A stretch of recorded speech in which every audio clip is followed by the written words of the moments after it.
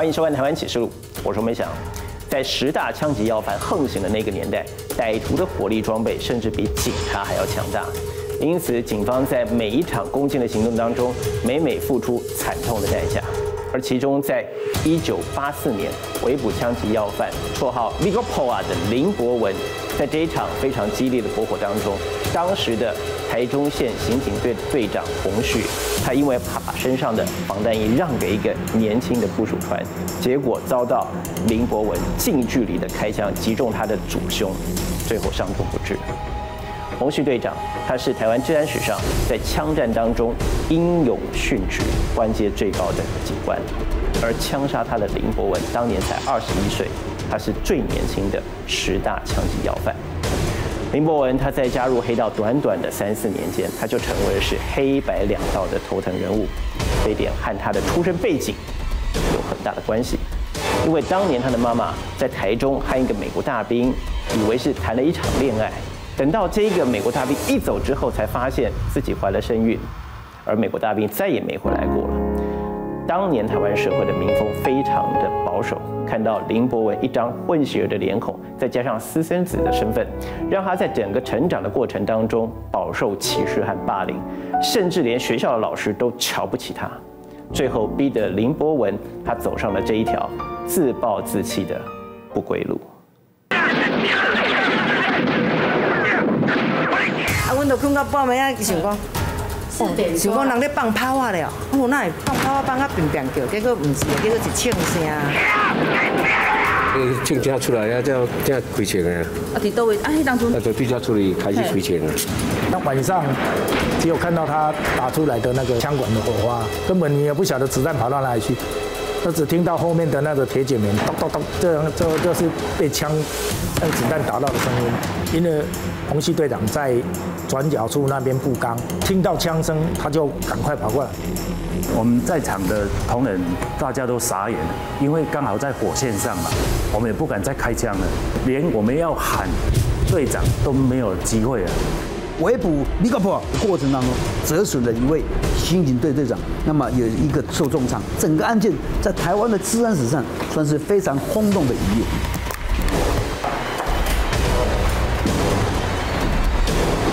台湾治安史上死伤最惨重的一次围捕行动，围捕对象是他，绰号 Big Pop 的林博文。他的五官特别那个什么混血儿嘛，这个是比较特殊的，一般大概就是混黑道的比较没有这样长相的人啊，长得是外国人的样子，可是一句英文都不会讲。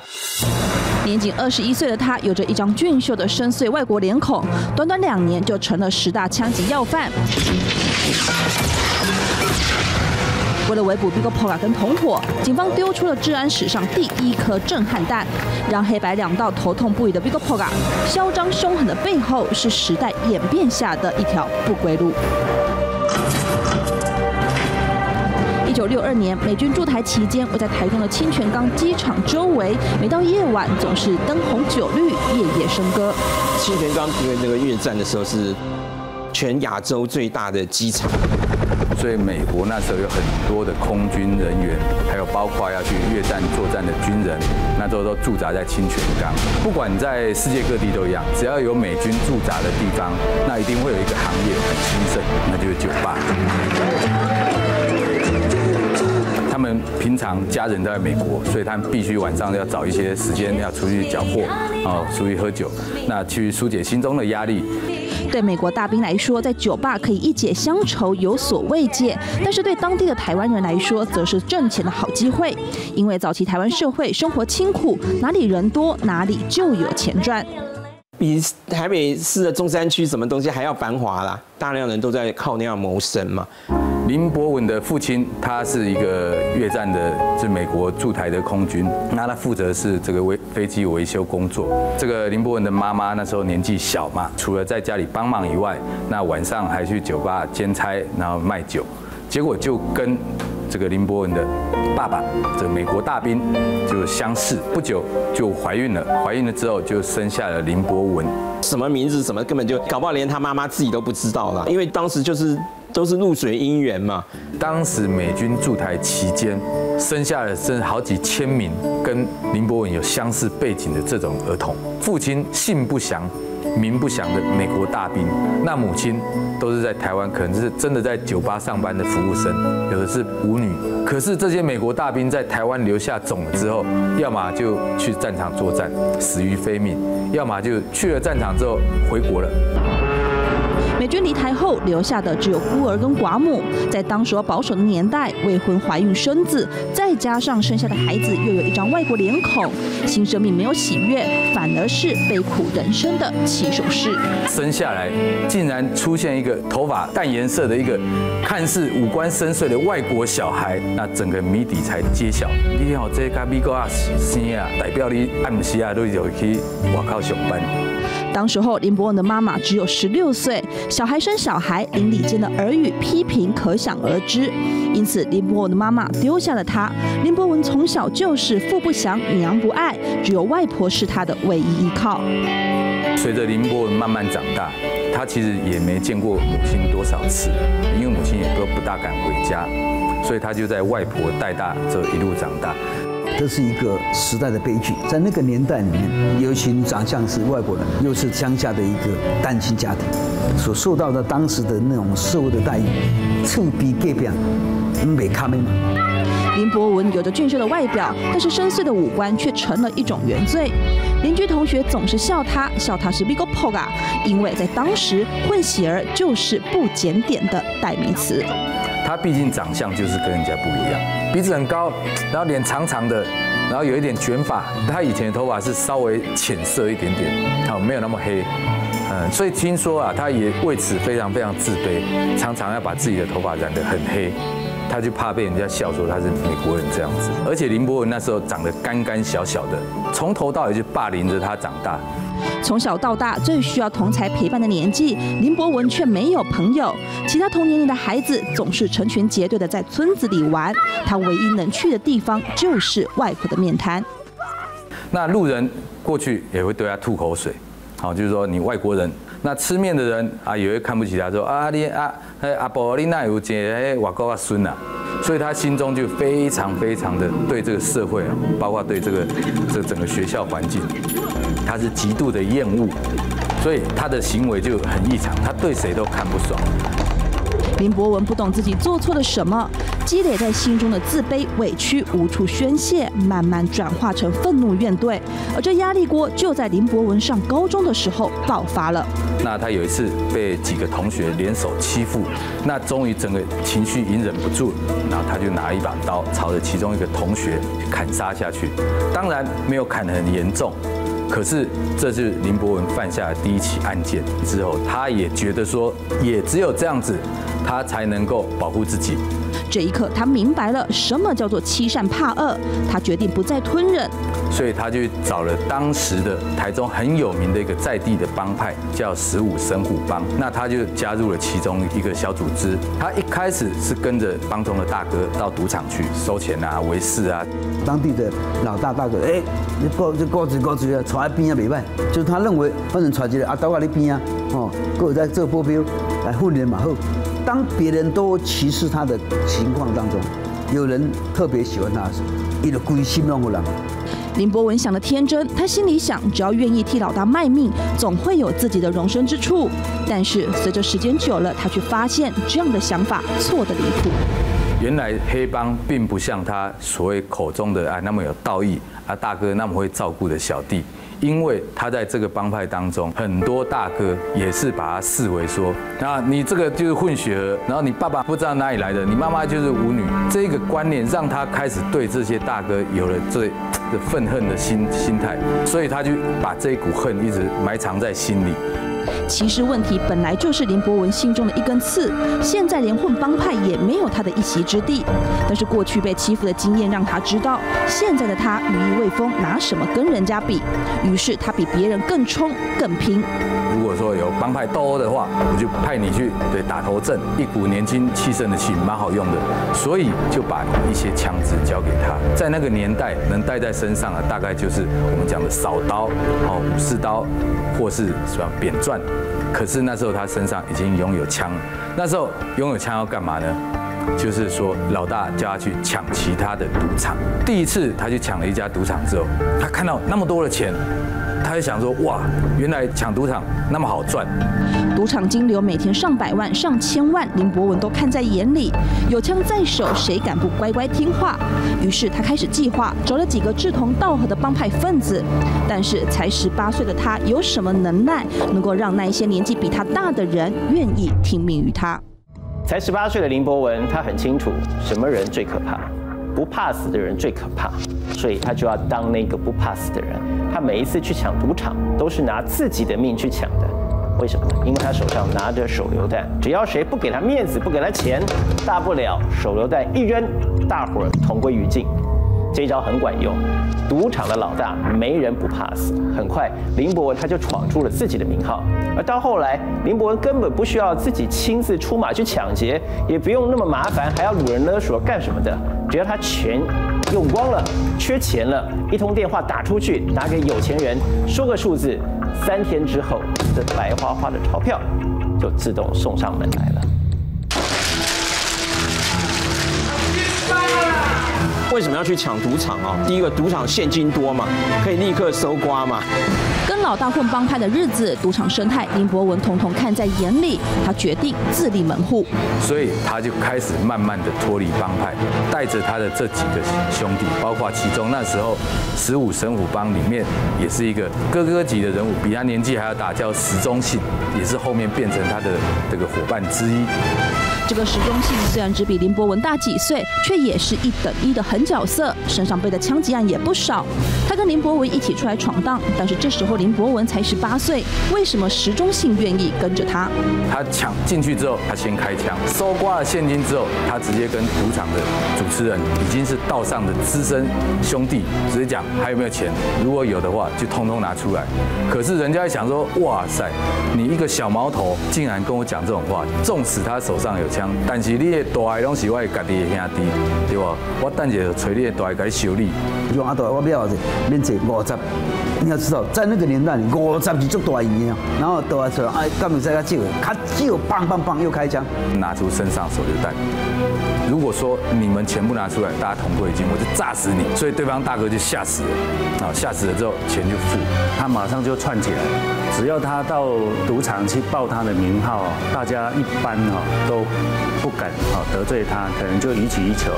行走江湖，什么最大？不要命的最大。也因此，林博文越抢越大，抢了钱去买枪，买了枪又去抢。他越知道是哪个帮派在为事，他越去抢这样的地方嘛，这样他才可以知名度可以快速的建立嘛。一般黑道的小弟，你如果说要出去报名号，就让人家给你钱，那是比很困难的。所以你要直接的方式啊，就是找老大，找这地方的士绅来恐吓，是最快的。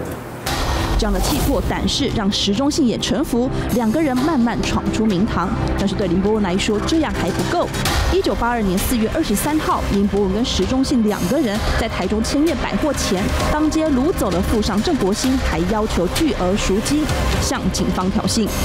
因为一般的绑架案倒不会是按得来，在人质不知不觉的情况下绑架他，然后带走了以后再打电话勒索。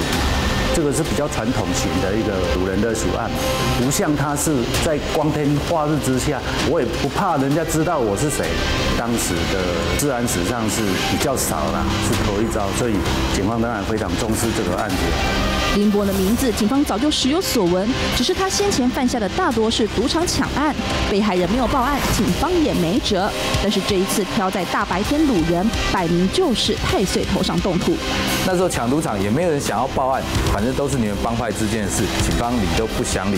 林博文当初换了那个案子以后，就变成警方的追击目标嘛。尽管林博文被列为警方首要查缉的对象，但是他并没有因此变得收敛。因为他犯案以后开始逃亡嘛，那逃亡的过程中，他必须要有一些生活费嘛，购买枪械嘛。过程当中，他就是要到处去向商家恐吓啦。那时候所有的赌场哇都非常怕听到林博文这个名字。那时候十五神武帮里面有一位大哥叫做彪哥的，他自己也开了一个赌场，也被林博文带着石中信等人去冲了。那这个彪哥就很不爽，就想说哇塞，我们当当初把你带大，结果你翅膀还没硬，那你就开始动到我们大哥头上，所以他就开始计划要对他下手。名声越大的林博文越要抢，但是对这些大哥来说，栽在一个十八岁的毛头小子手上，颜面无光，当然要想尽办法把这一口气讨回来。一九八四年一月十二号，这个大哥找上了台中知名角头龚会王宝同，要他帮忙处理林博文，没想到却被反将一军。那就下了追杀令，想办法找到他，格杀勿论。想不到林博文他也有暗插内线，他事先就得知到，哎，这巩后要找他麻烦，他就先发制人。那时候在文心路跟北屯路口，本来人家是要跟监他，要去抓他，想不到他进行反跟监，就他就跟上了巩后，当街把车子拦下来。米高炮马上拿出他的左轮枪，还有四五手枪，他的同伙拿散弹枪就朝他的车子猛轰。可是这巩后没有死。他只是身受重伤，但是事后就是半身不遂。林博文犯下这个案件之后，等于是正式的宣告跟黑帮宣战。所以那时候警方不但要追林博文，所有的黑帮，台中市的黑帮也在追林博文。黑白两道都被惹毛了，但是林博文不怕，他还嚣张的自组帮派后龙十五神虎帮，要跟其他的黑道一较高下，这可让台中的警方头痛极了。底下就吸收了一大堆人，在这个期间，那他就连续抢了八家的台中各大角头开设的赌场，他非常敢开。他有一次还扬言哈，说哪一个刑警逼得我太急的话哈，哎，刑警我也要对你开枪，对治安的压力哈太大。短短一年多的时间，林博文街头枪击案一件犯过一件，赌场也是一家抢过一家，黑白两道他都不放在眼里。挟着强大的火力，中台湾到处流窜，却没有想到总是无往不利的林博文也有踢到铁板的一天。Vigo Po 啊也会提到铁板，这块铁板是谁呢？这块铁板就是现在我们说的彪哥严清彪。严清标呢，其实是年长林博文三岁，当年两个人呢都还只是二十岁出头，年轻气盛的小伙子。而林博文在当时在道上已经闯出了名号，他以为呢谁都会卖给他面子，最后他竟然把脑筋动到了严清标的家族企业，他也想要分一杯羹，但是没想到严清标根本不理他，这下子林博文他的面子还挂得住吗？当初林博文在中部横行的时候，他一度想把手插进砂石行业。早期采集砂石是无本生意，无需太多的技术，却能够赚取暴利。庞大的利益让许多明代黑道都觊觎。这块肥肉，林博文当然也看到了。当时中台湾最知名的砂石业者，就是由台中海线严家班所经营的，也就是前立委严清标家族旗下的砂石厂。尽管面对的是当时中台湾势力庞大的严家班，但是林博文一点都不怕。严立伟刚刚好正年轻的时候就碰上，刚刚好严年轻出道，两个人那个年纪差没几岁，就跟他讲说，哎，对，啊，听讲领导探北救哦，那你你们这边这边做砂石，你是不是应该要拜码头？好歹我是后龙石虎神虎帮的帮主，后龙跟清水那边沙路相邻嘛，你们要在我这边做生意，好歹要要给一点油水。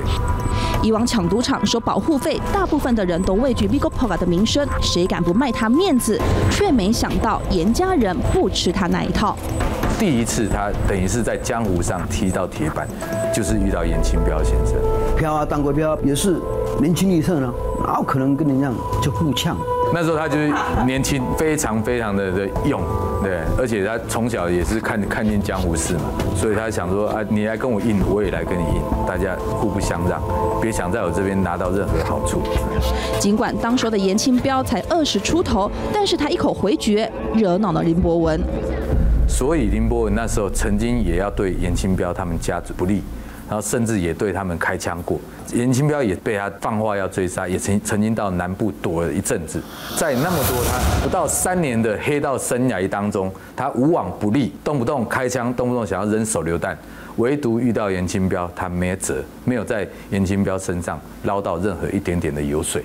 因为伊讲啊，就爱爱爱爱讲吼，要提所谓，提所谓，你来我参详的，哦，他是好像。哦，不给他不行，所以就电话中哈，这个他大概讲的不好听了。事隔多年，再提到林博文，严清标云淡风轻，淡淡带过。但是在当时对警方来说，林博文的一再犯案却又逮不到人，让警方真的是颜面无光。患难的呃地方大部分都在台中县市，所以上级的压力也给我们很大，还有社会的舆论啊，还有一些被害人，所以我们一件一件的没有破，一件一又一件一件的发生，所以警方当时是真真的压力会长大。警方用尽方法要逮他，但是林博文心思缜密，总是能早警方一步逃跑。短短一年内，警方大动作十次围捕林博文，通通无功而返。再加上当初一清专案全台大扫黑，林博文这一根眼中钉，警方当然得卯足全力拔掉。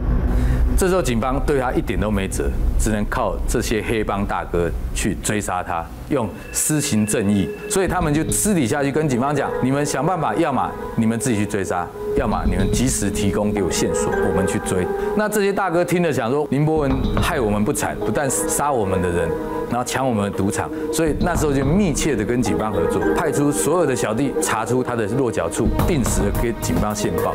警力部署追人，毕竟人力有限，但是黑帮势力遍及各地，警民的事实合作，线人提供线报，纵使林博文跟同伙石中信再会逃，难免也会露出马脚。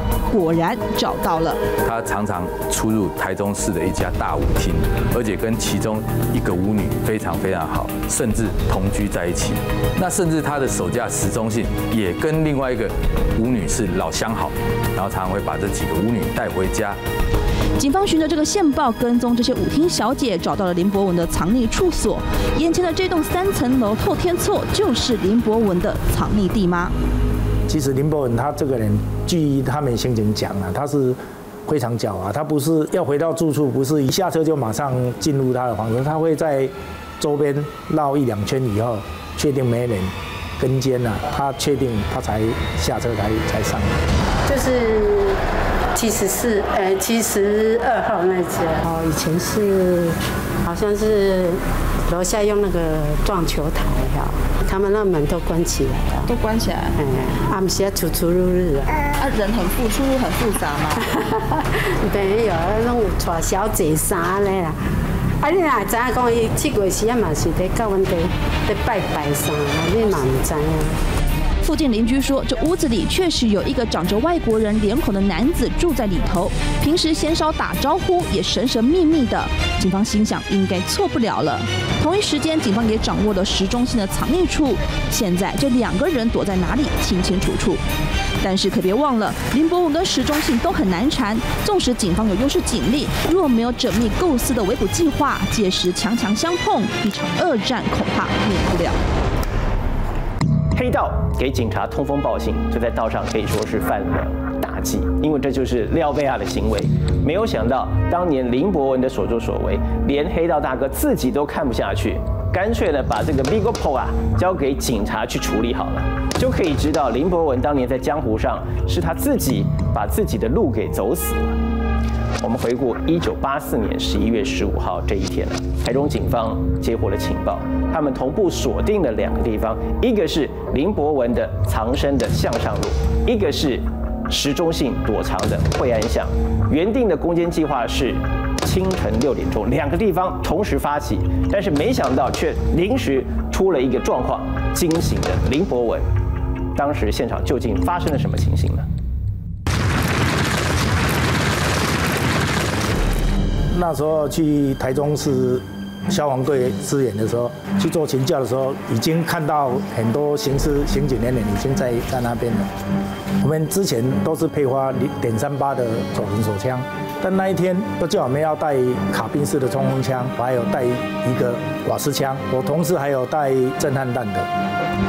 所有能带的武器统统带上身，毕竟这一次的任务要围捕的对象是让黑白两道闻之色变的枪击要犯。这两位是我们今天的主要目标林博文跟史忠信。那当时我们在请教的时候啊，最主要是让大家了解啊，这两位啊都拥有强大的活力啊，而且在围捕当中啊，他们不会乖乖的束手就缚，因为他知道林博文身上有手榴弹啊。当时我们也知道说，平防弹也是没办法防手榴弹的啦，那就是尽量在他还没有警觉之前，我们能不能用摸哨的方式，看能不能逮捕到他。对对。专案小组心里明白，比武力、比装备，林博文跟石中信都还略胜警方。纵使专案小组有优势警力，一旦强强相遇，警方也不见得讨得了便宜。唯有奇袭才有机会。凌晨四点整，行动开始，六十多名警力兵分两路，要围抄台中向上路跟惠安巷两个现场。当时任职台中县刑警队侦查员的张望根与迅雷小组成员李德川，在刑警队长洪旭的带领下，一行二十四人负责林博文的围捕现场。至于惠安巷的时钟性现场，则由台中市刑警队长谢云党带着机动组长陈坤湖跟迅雷小组成员蔡宗熙等三十多个人前往围捕。凌晨四点半，两组人马各自抵达现场部署，并且预定在六点整发动攻击，却没想到拟定周全的围捕计划，却因为突发状况全乱了套。眼前三层楼联动的破天厝，就是林博文的藏匿地。现场警力立刻将整栋楼所有的逃生出口，包括了阳台、前门还有后巷，全部堵住。当时张望根就是被编排在第一线，要用正门潜入攻坚。我们准备从正门攻坚，五个同仁，有一个刑事局的同仁拿散弹枪，那我们就是配备了左轮手枪，准备攻前门。至于李德川就被安排在后面的防火巷第二线进行警戒。我们刚要布刚，刑警也才要准备要要上去攻坚。洪系队长也有指派我说：“哎，你就站在这里。”大批警力集结，带队官洪旭立刻进行任务分配，却没想到警力部署才进行到一半出状况了。我叫声非常的厉害，但是我们非常不安呐。因为狗叫声可能就会惊醒住户啊，尤其歹徒他在逃跑的这个心态上，他会可能又比一般人更警觉嘛，所以我们就担心说他是不是会惊醒。关的是他们怕鬼，好像那种警察啦。老刑警的直觉果然没错，连住户都被阵阵的狗叫声给惊扰。林博文当然也听见了。他们正面空间的人就发现说，那一栋目标啊，二楼就有人稍微开窗，就有看到底下连连的行动。开这扇窗的人就是林博文。凌晨的狗叫声让他有所警觉，但是包括了大门、阳台全被重重警力包围。林博文决定要往后巷逃窜。而当时部署在后面防火巷的李德川，因此跟林博文正面遭遇。我才一刚站上去，就马上就听到二楼好像有人。跳出来，那那整栋大楼后面都有那种违建的厨房，厨房上面都会有那个石棉瓦。我就听到好像有人从二楼跳到那个石棉瓦上面在在跑，跑一跑的时候，那石石棉瓦的尾端呐，它是没有支支撑的，然后就踏破了那个石棉瓦掉下来，刚好是我后面我站的刚到那个方向。黑暗中，李德川听见有人摔下来了，但是会是谁呢？李德川站在巷口，立刻警觉性的将身体紧紧靠在墙壁，并且把手上的点三八手枪上膛。防火巷里一片漆黑，什么都看不见，只听得见人走动、窸窣的声音。因为那个巷子很小，他一个人的可以容纳的，他掉下去那个防火巷里面，它里面有一些水管，都是听到有人从那边这样跑出来的。我还在正在思考说，我要拿个枪从那巷子里面开枪，那我怕说啊，万一那个出来不是歹徒呢？那万一是我们自己的刑警去布刚的，从那边跑出来还是怎么样？所以我正在犹豫的时候哈，就看到一个人穿了一件深蓝色的那个外套，两手插在口袋里面，这样从那个巷子这样跑出来。那刚好我就站在巷子口，所以我就。上前一个箭步就从他的后衣领抓住，然后再跟他讲说：“警察不要动。”然后他一转过来，二话不说就拿从口袋拔枪出来，就往我头上就一开，开了一枪。猝不及防，李德川想都没想到，从防火巷跑出来的人就是林博文。他一个转身，拿着手上的枪就直接对着李德川的脑袋击发。我就本能的就头一闪。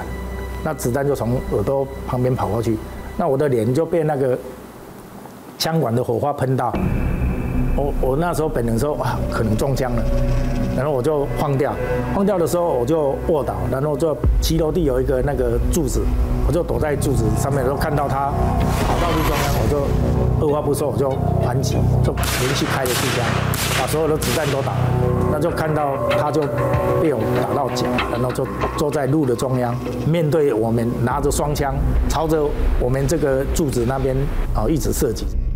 同一时间，原本正准备从大门攻坚的张望根听见了后巷传出枪响，他心里一惊，行动都还没开始，怎么就有人开枪了？听到开枪的声音，我就直接冲到林波文那个巷子出来，那个那个柱子后面，我就发现林波文已经被我们同仁打伤，倒在那个地上。受伤的林博文坐在马路中央，尽管脚伤跑不动，但是手上的双枪却是不停的向警方还击。晚上只有看到他打出来的那个那个枪管的火花，根本你也不晓得子弹跑到哪里去，我只听到后面的那个铁剪门咚咚咚，这这这是被枪那个子弹打到的声音。每一个同仁就是自己找掩体吧，心里面想了，赶快找一根柱子可以当掩体了。那其他就没想那么多了，那个时候也实在是没没时间想，哎，时间太太短。老实说，他跑出来被打伤躺在地上的时候，他也是只只顾着对我们这个方向打，他也大概也也没办法去瞄准目标了。我的柱子前面是停了一台台中线侦防车，他的目标也都是大部分打那台侦防车跟我这边。短短几分钟之内，警匪已经打得不可开交。但就在这个时候，他好身上还有两颗手榴弹。当时的时候跟我们反击了以后，他本来是把枪放着，已经要拿那个手榴弹要往我们这边来丢了。那时候他本来想要同归于尽，他一度手握着手榴弹想要去拉开插销，可是他的肩膀已经不大会动。那刚好就在这个时间点，因为红系队长在转角处那边布钢，那听到枪声以后，他就赶快跑过来。没想到在这个开枪的过程当中，就看到我们队长走过来，我们在场的同仁大家都傻眼，因为刚好在火线上嘛，我们也不敢再开枪了，连我们要喊队长都都没有机会了。不要开枪！不要开枪啊！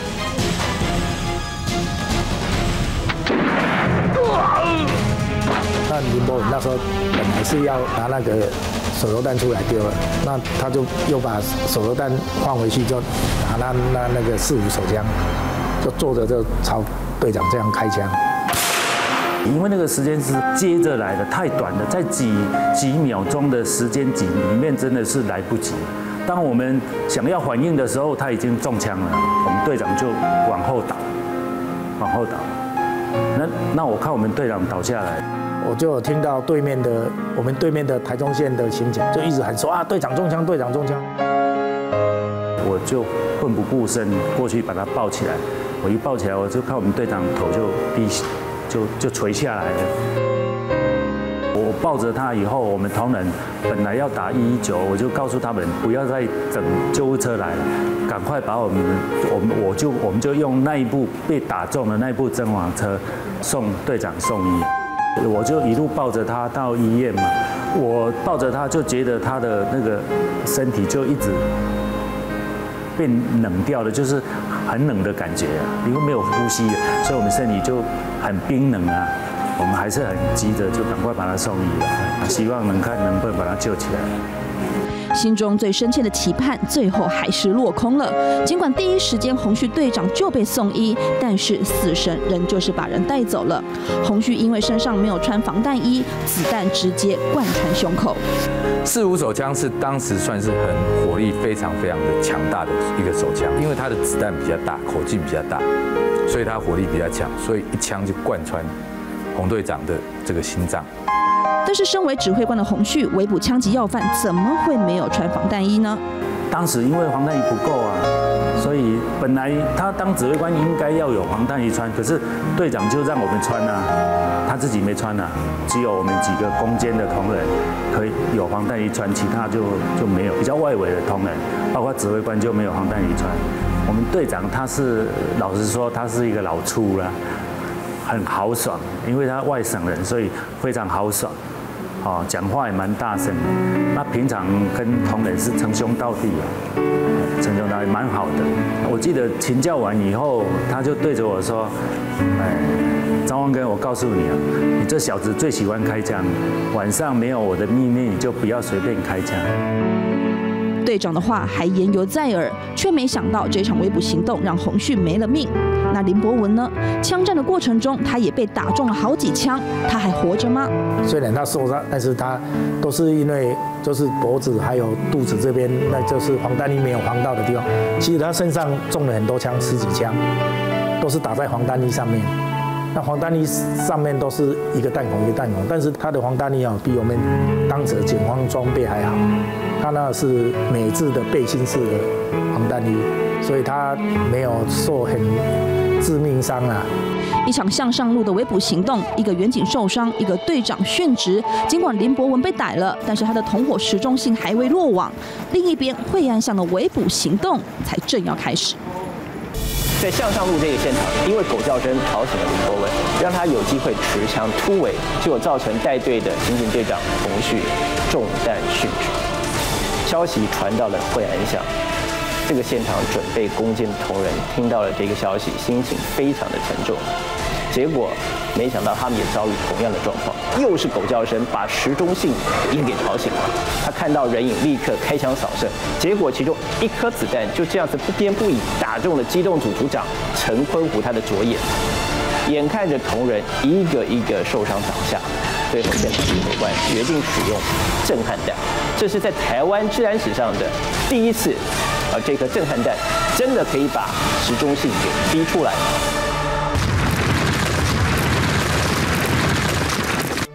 石中心这边藏匿的处所啊，是一二楼的后天。错，在布死完以后，我们差不多五点出的时候，警力啊赶到布设完毕以后啊，后来从无线电当中有听到说啊，这个香山路李国法这一边呢已经有发生枪战，那也有我们的同仁啊有受到啊伤害啊，所以说我们当时的现场气氛呢是非常的凝重。原本拟定的围捕计划是向上路跟惠安巷的行动同时发起，不让任何一方有机会通风报信，却没想到向上路的行动曝光，提前爆发枪战，这让惠安巷这边的行动陷入了危机中。惠安巷这边呢，由台中市是由我带队当先锋小组，当我们冲到现场以后，冲进去。结果在他的房间里面，因为有养狗，所以狗声一叫呢，当时的反应也许就现在的事后的考量是错的。我们考量以后都先撤退。警方没有料到石中信家里竟然养了狗，狗叫声在安静的早晨格外突兀。但是攻坚的人员都已经进到屋子里了，隔着一层楼，石中信就在楼上。跑路的人哈特别敏感，他是提着枪，穿着穿着短裤就走到楼梯楼梯转角来。那我们攻坚通呢，进去屋内，刚好在这个一楼的楼梯口跟他遭遇啊！一看到楼下人影幢幢，他就当场就开枪，枪战就马上就发生了。狭窄的楼梯间成了警匪搏火的第一现场。底下有没有部电梯啊？这个那个都瞬间的反应而已。他向我们开枪，我们向他开枪啊！警匪枪战打得如火如荼。这个时候，带队的机动组长陈坤图受伤了，枪是从这个左眼这里打进去。然后打到右边的这个这个脖子这里，那枪战了以后，我们所有的现场的人呢，就从有的从前面，有的从后门撤退。那当时中枪以后，我就直觉说，哇，全身都是血，整个一摸眼睛也凹下去了，全身都是血。那就刚好在那个楼梯的转角下哈，有一个仓库。就躲在那仓库里面，子弹直接打进了陈坤虎的眼睛，那一瞬间他的眼前一片模糊，只能凭直觉赶快找个地方躲起来。但是躲能躲多久？我想说，走跑出来的时候，如果有一个同仁情绪太紧张了，再开一枪的话，可能会当场被打死掉。但是不出来的话，在里面流血还是要流死，所以最后决定跑出来。我想还好了，当时这个结果就是没有人再给我开一枪，今天才能够留到现在。除了陈坤虎之外，还有另外两名刑警也被打中臀部跟手。眼见攻坚的远警一个个负伤而出，但是石中信依旧顽强抵抗，不能再有人受伤了。既然进不去，那就得想办法把人给逼出来。那当时啊，就当机立断，由我先来投掷这个震撼弹，再由这个队长啊来做心战的喊话，看能不能达到这个应该有的效果啊，把歹徒就逃啊威吓出来。旁边同仁就在那边喊：“你再顽抗的话，就要当场啊把你击毙啊！”所以那时候动用了台湾警方围捕史上的第一次用震撼弹，就插销嘛，一二把插销拉开，啊，一二三三秒钟就丢出去，第二个接续再丢，第一枚往一楼屋内，第二枚往二楼屋内。在顶楼埋伏的岗哨啊，他们的感受就是说，丢子震撼弹震爆的效果啊，整个屋子都会动，都会摇。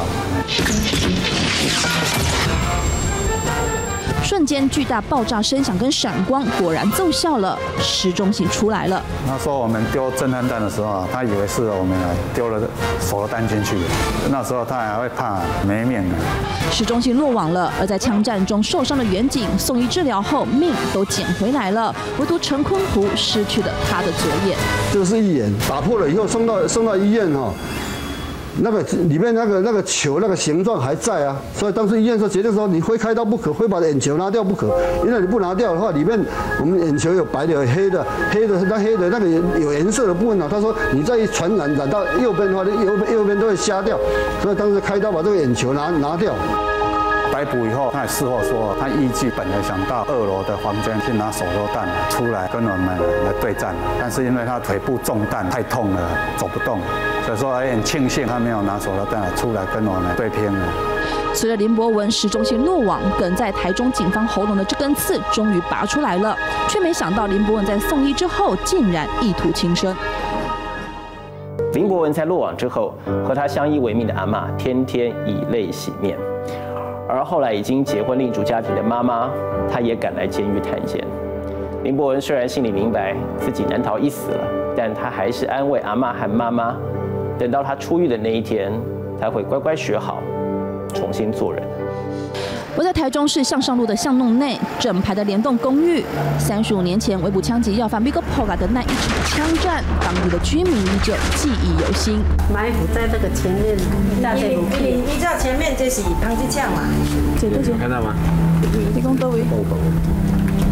可以当作子弹留下来弹孔的。对，有打过来。公寓一楼柱子上的凹痕，见证了那一晚激烈的警匪搏火。那一夜，台中县刑警队长洪旭殉职，林博文开的那一枪直接贯穿了洪旭的胸口，连救的机会都没有。那一年，洪旭五十四岁，留下了三名子女。好希望说，我父亲能够再摸摸我的头啊，再再跟我随便说几句话，我就觉得很高兴。这微小的心愿，洪家人等不到了。而同样在枪战中受伤的林博文，尽管身中三枪，却因为都不是要害，送到医院急救后命捡回来了。但是林博文却是一心求死。到医院已经开始要进行插管，他竟然还阻止医生救他，就企图想要把这些管子通通拔掉。他当时是用台语跟医生讲说不要救他嘛，他也知道嘛。这个救回来没多久，又要再还要再枪毙一次嘛，那个白白受苦嘛。他也希望就是当时就这样死了就算了。双手染血的林博文，江湖上再凶狠，却不敢面对司法的制裁。一九八五年三月，军事法庭判处林博文死刑确定，军法审判速审速决，关押在看守所等死的林博文，盼到了他久未见面的母亲。的妈妈哦，就是每个礼拜都会固定的来看守所探监呢。那林博文虽然从小不是妈妈抚养长大，可是，在最后这段日子里面，他跟他妈妈的相处反而是反而是更亲密了啦哦。根据那个看守所里面在留言里面有提到过，就讲说，哎，每次他妈妈来探监的时候，林博文总是安慰他妈妈说，哎，很快啦，不会判死刑了，其他同伴都都已经那个定验了，就是有期徒刑这样子啊，很快就出去了。安慰他妈说，他在这里面生活的很好啊，他都每天都有在学水电这这些啊，将来出去以后就可以做有用的人。实际上大家都知道，就讲说他是被移送军法嘛，根本就不可能有出来的机会了。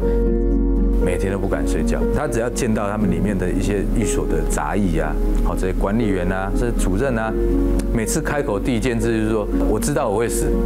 你们不要让我折磨那么久，们就赶快把我拖出去枪毙。等死的日子对林博文来讲，日日夜夜都是煎熬。一九八五年四月十二号，林博文枪决伏法，结束了短短二十一年的罪孽人生。当年台中刑警队队长洪旭，他在围捕林博文的行动当中不幸殉职。后来为了感念他的英勇事迹呢，导演刘家昌还把洪旭队长的故事拍成了电影，搬上了大荧幕。而顾总统蒋经国先生，他也特地的在洪旭的墓园赠匾“忠勇足士”，甚至在地方上面还传闻，有些案件的侦破是因为洪旭队长他在天之灵的庇佑。位在嘉义县竹崎乡的这一处忠勇墓园，人烟罕至，十分僻静。洪旭队长围捕要犯殉职，就在这里长眠三十多年。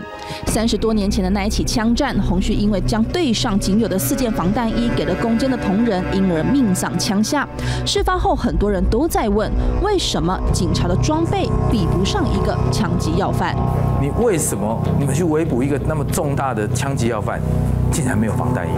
当时在治安的转变过程当中，上级给我们的装备实在是不好，啊，没有没有跟跟不上歹徒他们的进化。你看人家歹徒都有防弹衣可以穿，身上配备都还有手榴弹，武器装备都比警察还高级还精良。林博文这个是等于就是把这个事情公开化，就是。也是基层警察付出了重大的伤亡以后，上面才觉得说哦，警察装备都需要提升。而洪旭气拿要犯的故事也被导演刘家昌拍成电影《洪队长》，其中就把他在围捕要犯的这英勇的事迹啊，好非常非常具细民意的拍出来，也是为了要提升当时的警察的士气。啊，谁知道这部片子上来之后竟然没有市场，反而比较卖座的是依据林博文的背景去拍的另外一部片，叫《m i g o p o 林博文事件其实是给台湾社会一个带来一个很大冲击，就是其实是可以去探讨，就是讲说这些混血儿在台湾的这些这些处境呢，混血儿被歧视啊，不单单只是因为他脸孔的问题啦。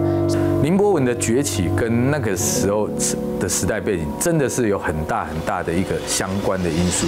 那这些小孩从小就大家都视他为异类，那自然心里就产生不平衡。不过说实在话，你说他们有犯过什么罪吗，或者怎么样吗？其实也很少听到。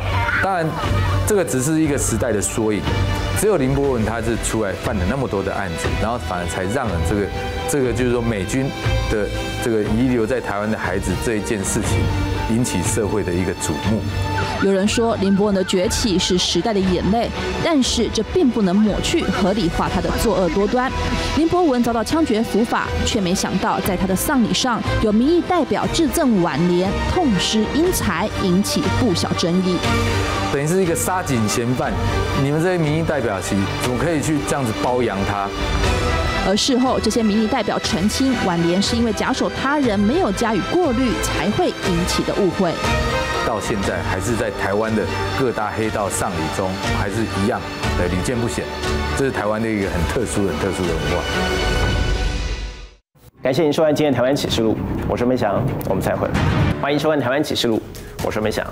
在二十六年前呢，在中部海线称霸一方的天道盟不倒会会长。人称阿布豆的谢运通，才刚刚宣布他要竞选彰化县议员跟议长，没想到十天之后，他在返家的途中竟然遭到了七名的蒙面枪手狙击，对方手持 M 十六步枪，猛往谢运通的坐车上打。他的宾士车虽然号称是防弹的，但却仍然遭到子弹贯穿，最后阿布豆惨死枪下。警方事后调查，这是一场经过精密设计的狙杀案，而幕后的操盘手究竟是谁呢？午后时分，彰化方院乡的产业道路上，一如往常的一辆辆货车呼啸而过。而这里也是天道盟不倒会会长，人称阿布豆的血通运，当时返家的必经之路。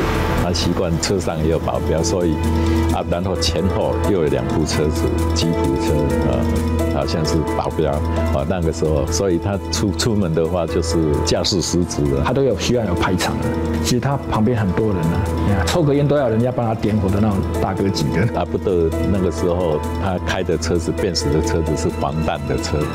哦，防弹的车，一般的手枪不容易伤到他。刚好那天谢通运中午要回去吃午饭，要去午休嘛，而且他们知道说他们今天走的路线是产业道路，所以你知道吗？他们赶快把废弃工厂提早两个小时就把大卡车藏在那个道路旁边了。他们穿着都好像是职业杀手级的，然后戴着黑色的头套，就是露露出眼睛，穿的迷彩服，还拿那个棉被把他们当做那个鸡笼子，什么趴在那个那个大卡车上面。啊，其实身上每个人握的是 M 十六步枪，还有步，还有手枪这样藏着。当时看起来就很类似大千载，就对了。谢东运车主过来之后，那个大卡车就往那个防弹的兵士五百开始冲撞了，而且撞了之后就一下子就把要把它撞进旁边的水沟啊。等到那个卡在水沟之后，那怎么办？车上。棉被一掀开，五六个人跳下来，就拿着 M 十六，就对着那个车子防弹的车子狂扫射啊！连续三十九发的子弹就对准坐在宾士后座的谢通运。哇，这个情节根本就跟港剧一样。而且你知道谢通运那个车是被爆的，所以那个死的非常凄惨。谢同运的保镖为了保护老大，以肉身挡架，最后同样惨死在枪口下。至于车上司机当时见状，吓得开车门往一旁的甘蔗园逃逸，幸运保住一命。一个天道盟正是如日中天的时候，进来一个不倒会的会长被人家这样举杀。你看，都开防弹车，然后身上带枪，有小弟的，你如果没有计划的话，怎么可能呢？治安史上第一起计划性狙杀，震惊全台。而这一车的蒙面杀手到底是谁？怎么能让计划进行得如此天衣无缝？就像是挖了个陷阱，让谢通运直接跳进去。当时担任刑警的侯友谊接获线报，先找到了两名嫌犯。但两名嫌犯赵建忠跟黄振雄，有没有？他们在那边的时候，他们等在偷渡期间。那个时候侯友谊啊，就是现在新北市长侯友谊，他是刑刑刑刑事局侦二队。你知道那一年刚好中秋节，他的女儿刚出生没几个月，他就跟他老婆讲说：“我们去北海岸走一走。”哦，就骗他老婆说带着小女儿去海边玩啊，这些根本就不是。他那天去那边是为了要抓那两个。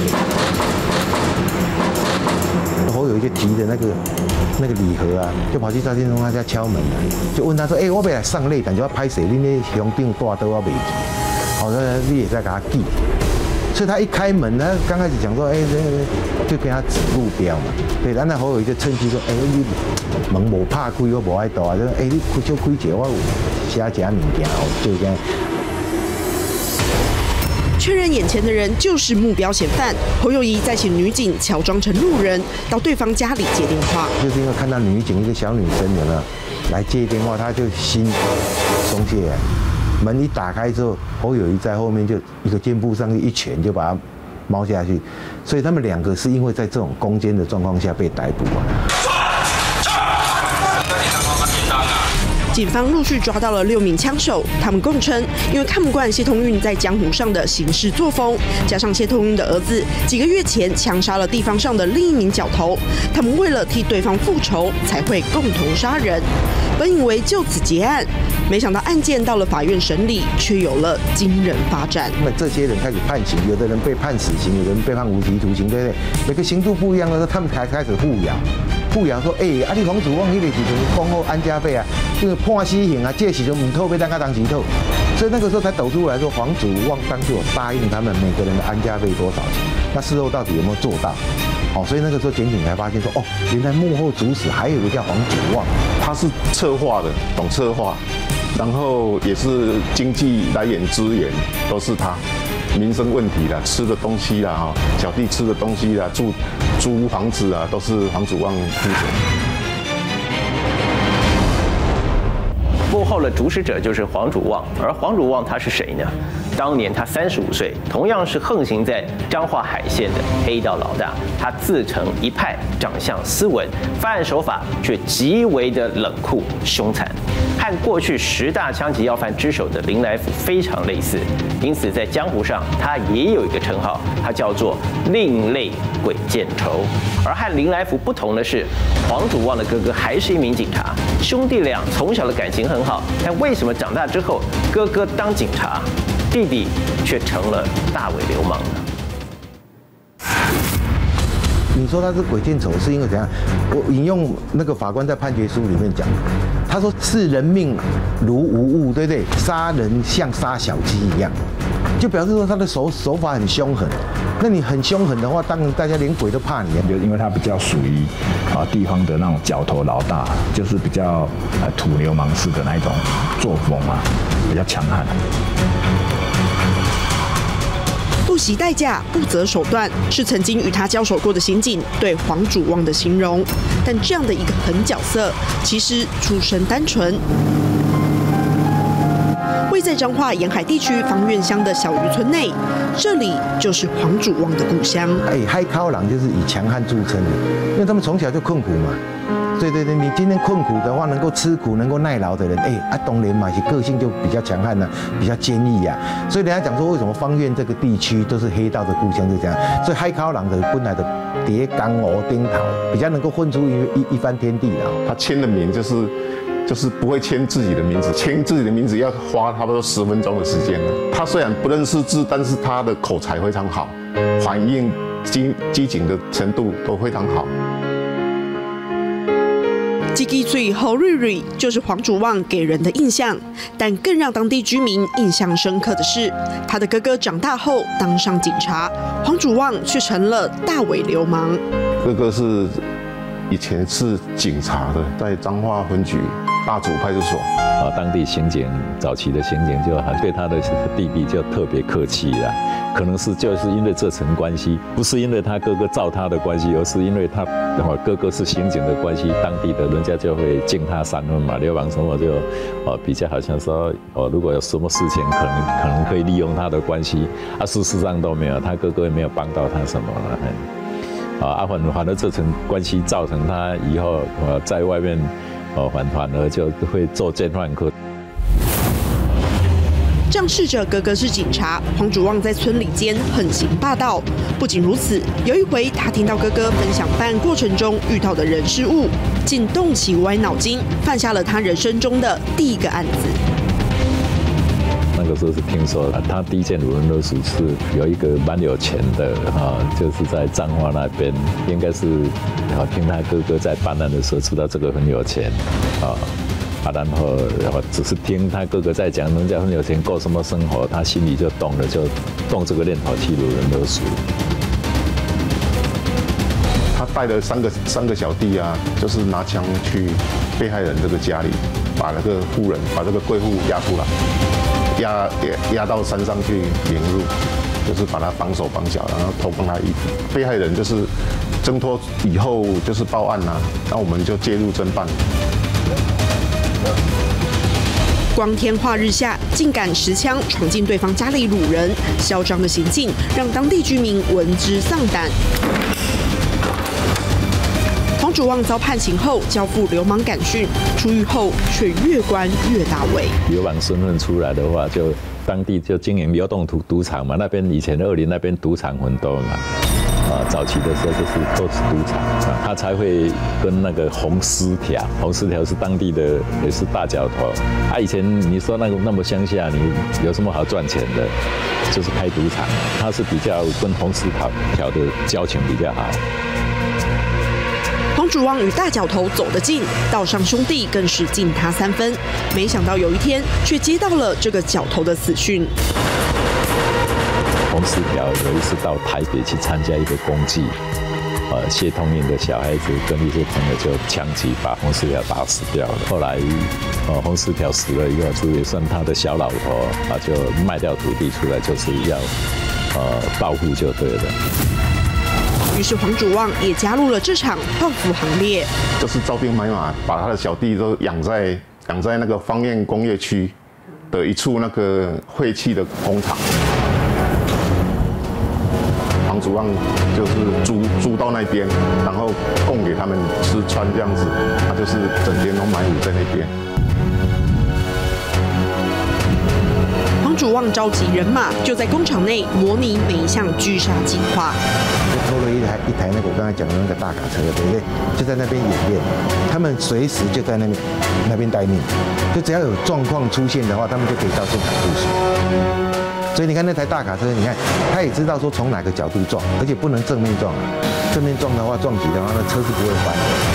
他就是想说从侧面撞击，而且是哪一个角度撞击的话，那个车子是能够把它撸到水沟里面，而且让它整个翻开。翻开之后，那下面的最脆弱的地方就露出来了。所以他们说实在，那个他们那时候杀谢谢通运是势在必得。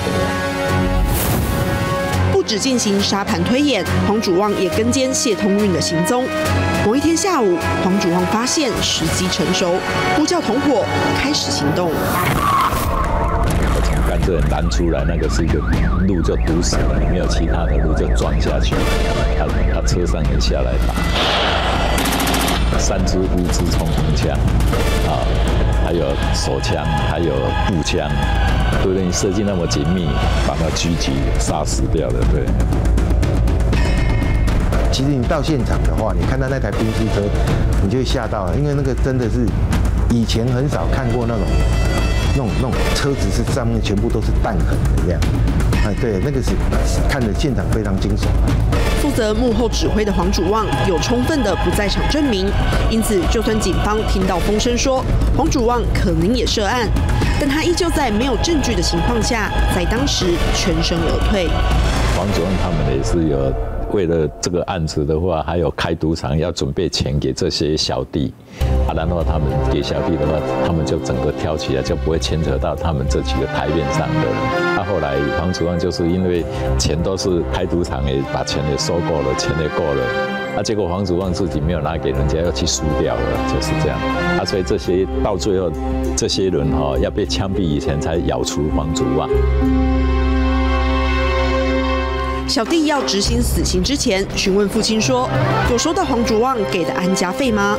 父亲摇摇头说：“没有。”这才让原本死心塌地跟着黄祖旺的小弟改变心意。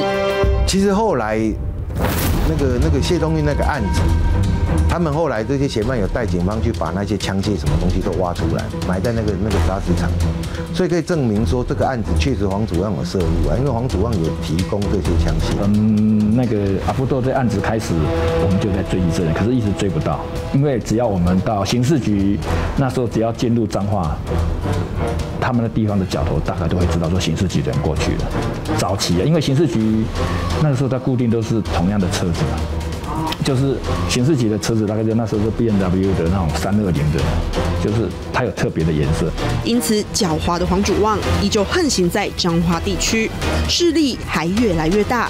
遭通缉后，过了四年，甚至介入地方选举。黄祖旺逃亡四年多，怎么抓都抓不到，让警方束手无策。而嚣张的他，不但没有躲躲藏藏的，还非常高调的替农会选举的候选人在背后撑腰。没想到某一天，敌营的人马和黄祖旺的小弟狭路相逢，对方公然的呛下之后，黄祖旺闻风赶到了现场，一下车就连开了好几枪，还强行的把敌营的助选大将带走，凌虐了一整晚之后，最后竟然把人给活活埋死。犯案之后，黄祖旺他逃逸无踪，警方想要透过黄祖旺的哥哥找到他的下落，但自己的哥哥愿意大义灭亲吗？一九九七年二月，全省各地的农会改选正如火如荼进行中，彰化方院乡的两强之争更加白热化。当初就是两个竞选农会总干事竞选的非常激烈。我，两方面都是找刘邦出来嘛，啊一个一方面就是啊，林马场就找谢慧伦嘛，陈陈竹站这边就找黄祖旺嘛，啊，本来就是谈好好吧，啊，你过哦你的地盘，顾你的地盘，顾我的地盘，大家都说好。原本两派阵营的人马都相安无事，但越到选举前，两边动作频频。有一天，候选人林妈赏的外甥，也就是他的助选大将郑明鹤，越界到了对方地盘拜票，结果狭路相逢，遇到黄祖旺的小弟，两派人吵了起来。那时候郑明鹤就牙起来了，他甲呛声，我选举正经绝对要甲变掉，哦，要甲抬死，抬好死。对对，我我若无甲抬死哦，伊就算孤仔囝。所以林亚田那个时候就打了电话给黄祖旺，讲若要甲你变掉啊，对不对？讲讲选举正经要绝对要甲你处理掉这样。头黄主旺听到有人公然对他呛虾，哪还沉得住气？直接带着六把枪跟一群小弟冲到现场，要跟对方变俗牙。黄主旺一下车，那个散弹枪拿起来对空就开了。那时候现场这么多人听到哦，有人开枪了，个散弹枪嘣长枪呢，那规定开始比啊。就整个一群人就散掉了，啊，因为郑明鹤就跑，他跑了的话，后后来郑明鹤跑到啊，应该是有靠近庙的柱子，就被他们抓住了嘛。他抓住他啊，其实抱着柱子一直求饶，跟跟黄庄求饶放过他。他说绝对就从此不介入前期了。郑明鹤苦苦哀求，但黄主旺根本听不进去，一声令下，带走。小弟们立刻把郑明鹤押上车。抓起来之后，他们就带到他们的平常的那集合的地点了。他们就有一个办公室，就在那里面。就就说办公室其实也就是工厂啊。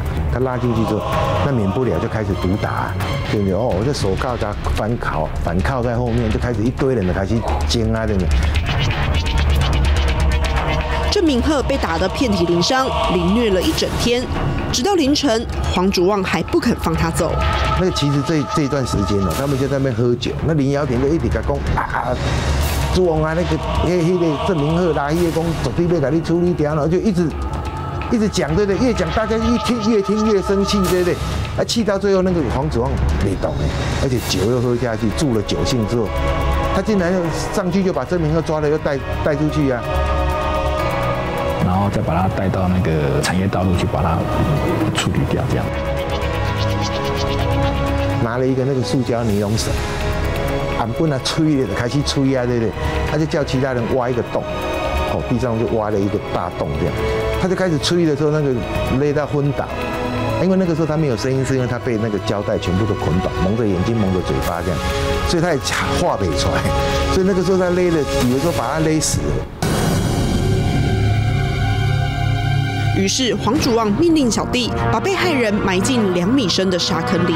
因为那个时候是他们作案的一个一些禁忌嘛，就是说，哦，把他脱光衣服了啊，啊，然后要躲逃灾让他鬼都不会找他。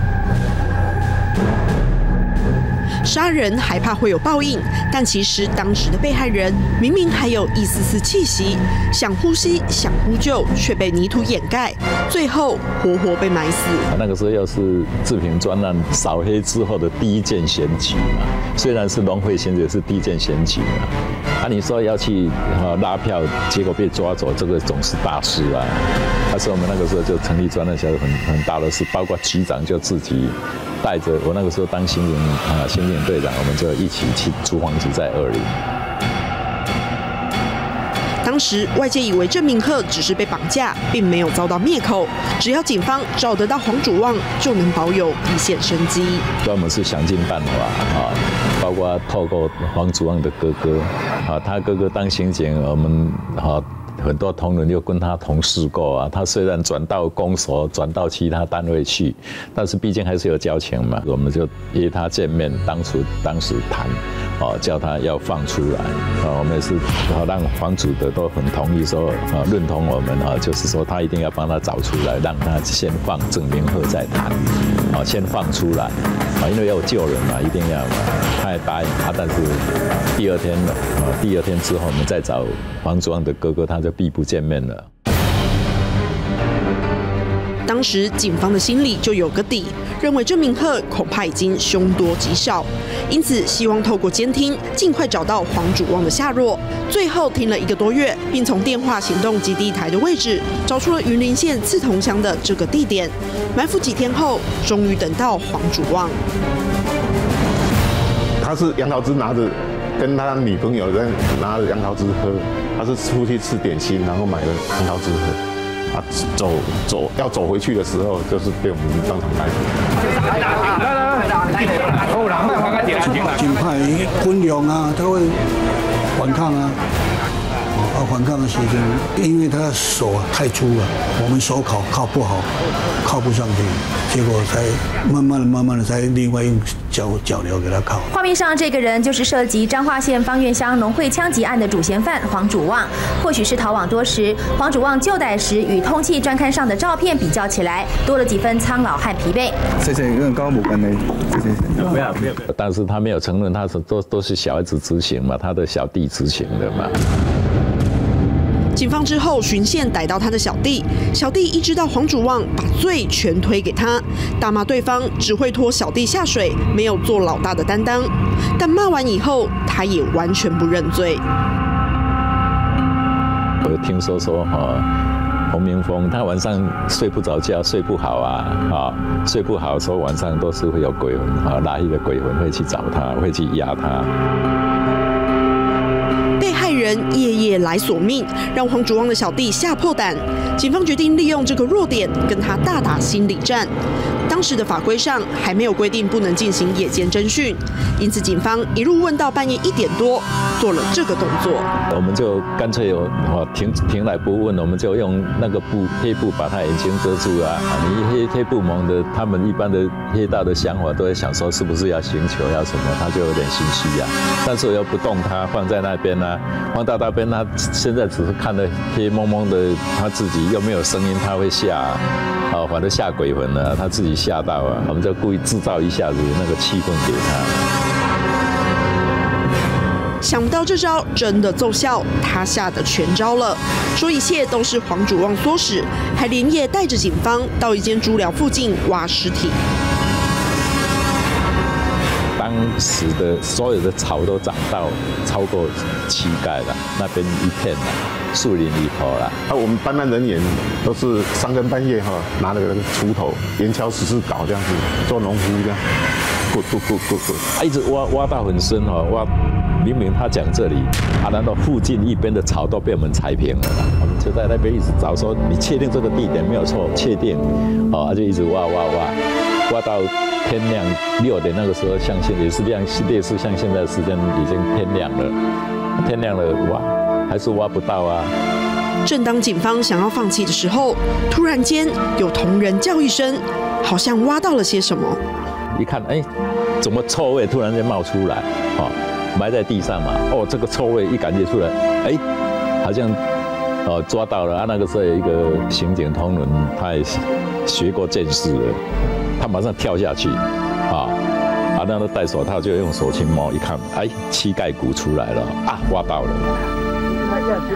被倒头活埋七十一天的被害人尸骨终于出土。你虽然是没有救到活的尸体找到，也是一个结束啊，他就就很笃定哦，黄明峰涉案，王祖旺他们几个涉案。黄祖旺移送后，随即遭到收押进监。身上背了三条人命的黄主旺，遭囚禁在台中看守所。失去自由的鬼见愁，越关越忧愁。但关注了他的人，却关不住他的心。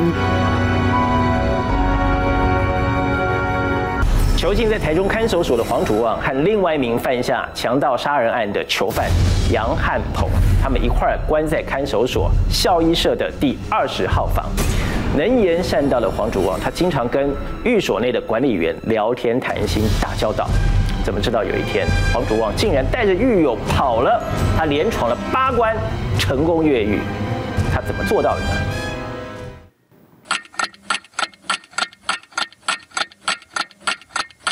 两千年五月七号凌晨一点钟，这座羁押数千名重刑犯的台中看守所一片死寂。许多囚犯们正呼呼大睡着，但校医社的二十房内却传来不明声响。三更半夜，原本该是大门深锁的牢房，突然间被打开了。关在里头的是身背两个死刑的黄主旺以及同房狱友。只见他们拿着器具，不停敲敲打打。哇，他们两个就在里面叮叮咣咣，叮叮咣咣，因为先把脚镣打掉嘛，对不对？打开之后。手铐嘞要拿掉啊！黄主旺换换上制服啊，那换上制服之后就开始往这边跑。黄祖旺伪装成管理员后，先跑出校一社的大门，再闯进校二社材料通道、中二社侧门，接着进到介护科大楼，通通畅行无阻。把他利用的是半夜三更、凌晨那种交界的时间，哎，大概管理员都爱困啊，对不对？精神某些到啊后啊，这一关一关那个监视器一看，哦，阿东请管理员的杀了，他也不管说这个是谁，就让他一关一关关卡，就这样一直出去，你知道吗？后来到行政大楼前的岗哨，这一站有专人看守。吉林黄祖旺跟狱友先躲在角落，静静等待值班管理员打开门的那一刻。那门一开，哎，只开了一个缝而已啊。那躲在门后面的那个那个黄祖旺跟杨汉鹏两个就冲出来啊，胁迫那个管理员拿枪胁迫他，叫他开门，不让他讲话嘛，所以跟他撒盐棉球。黄祖旺拿枪威胁管理员阮文清说：“只要好好配合，就会没事。”对方立刻打开通往会客区的两道铁门，让黄祖旺顺利脱逃。紧接着，一行人往停车场的方向移动，坐上早就准备好的接应车辆，扬长而去。哎，他们就这样越狱成功。他们出去那个会客室的大门以后，就把他关在后车厢，然后再到阿阿杜山那边。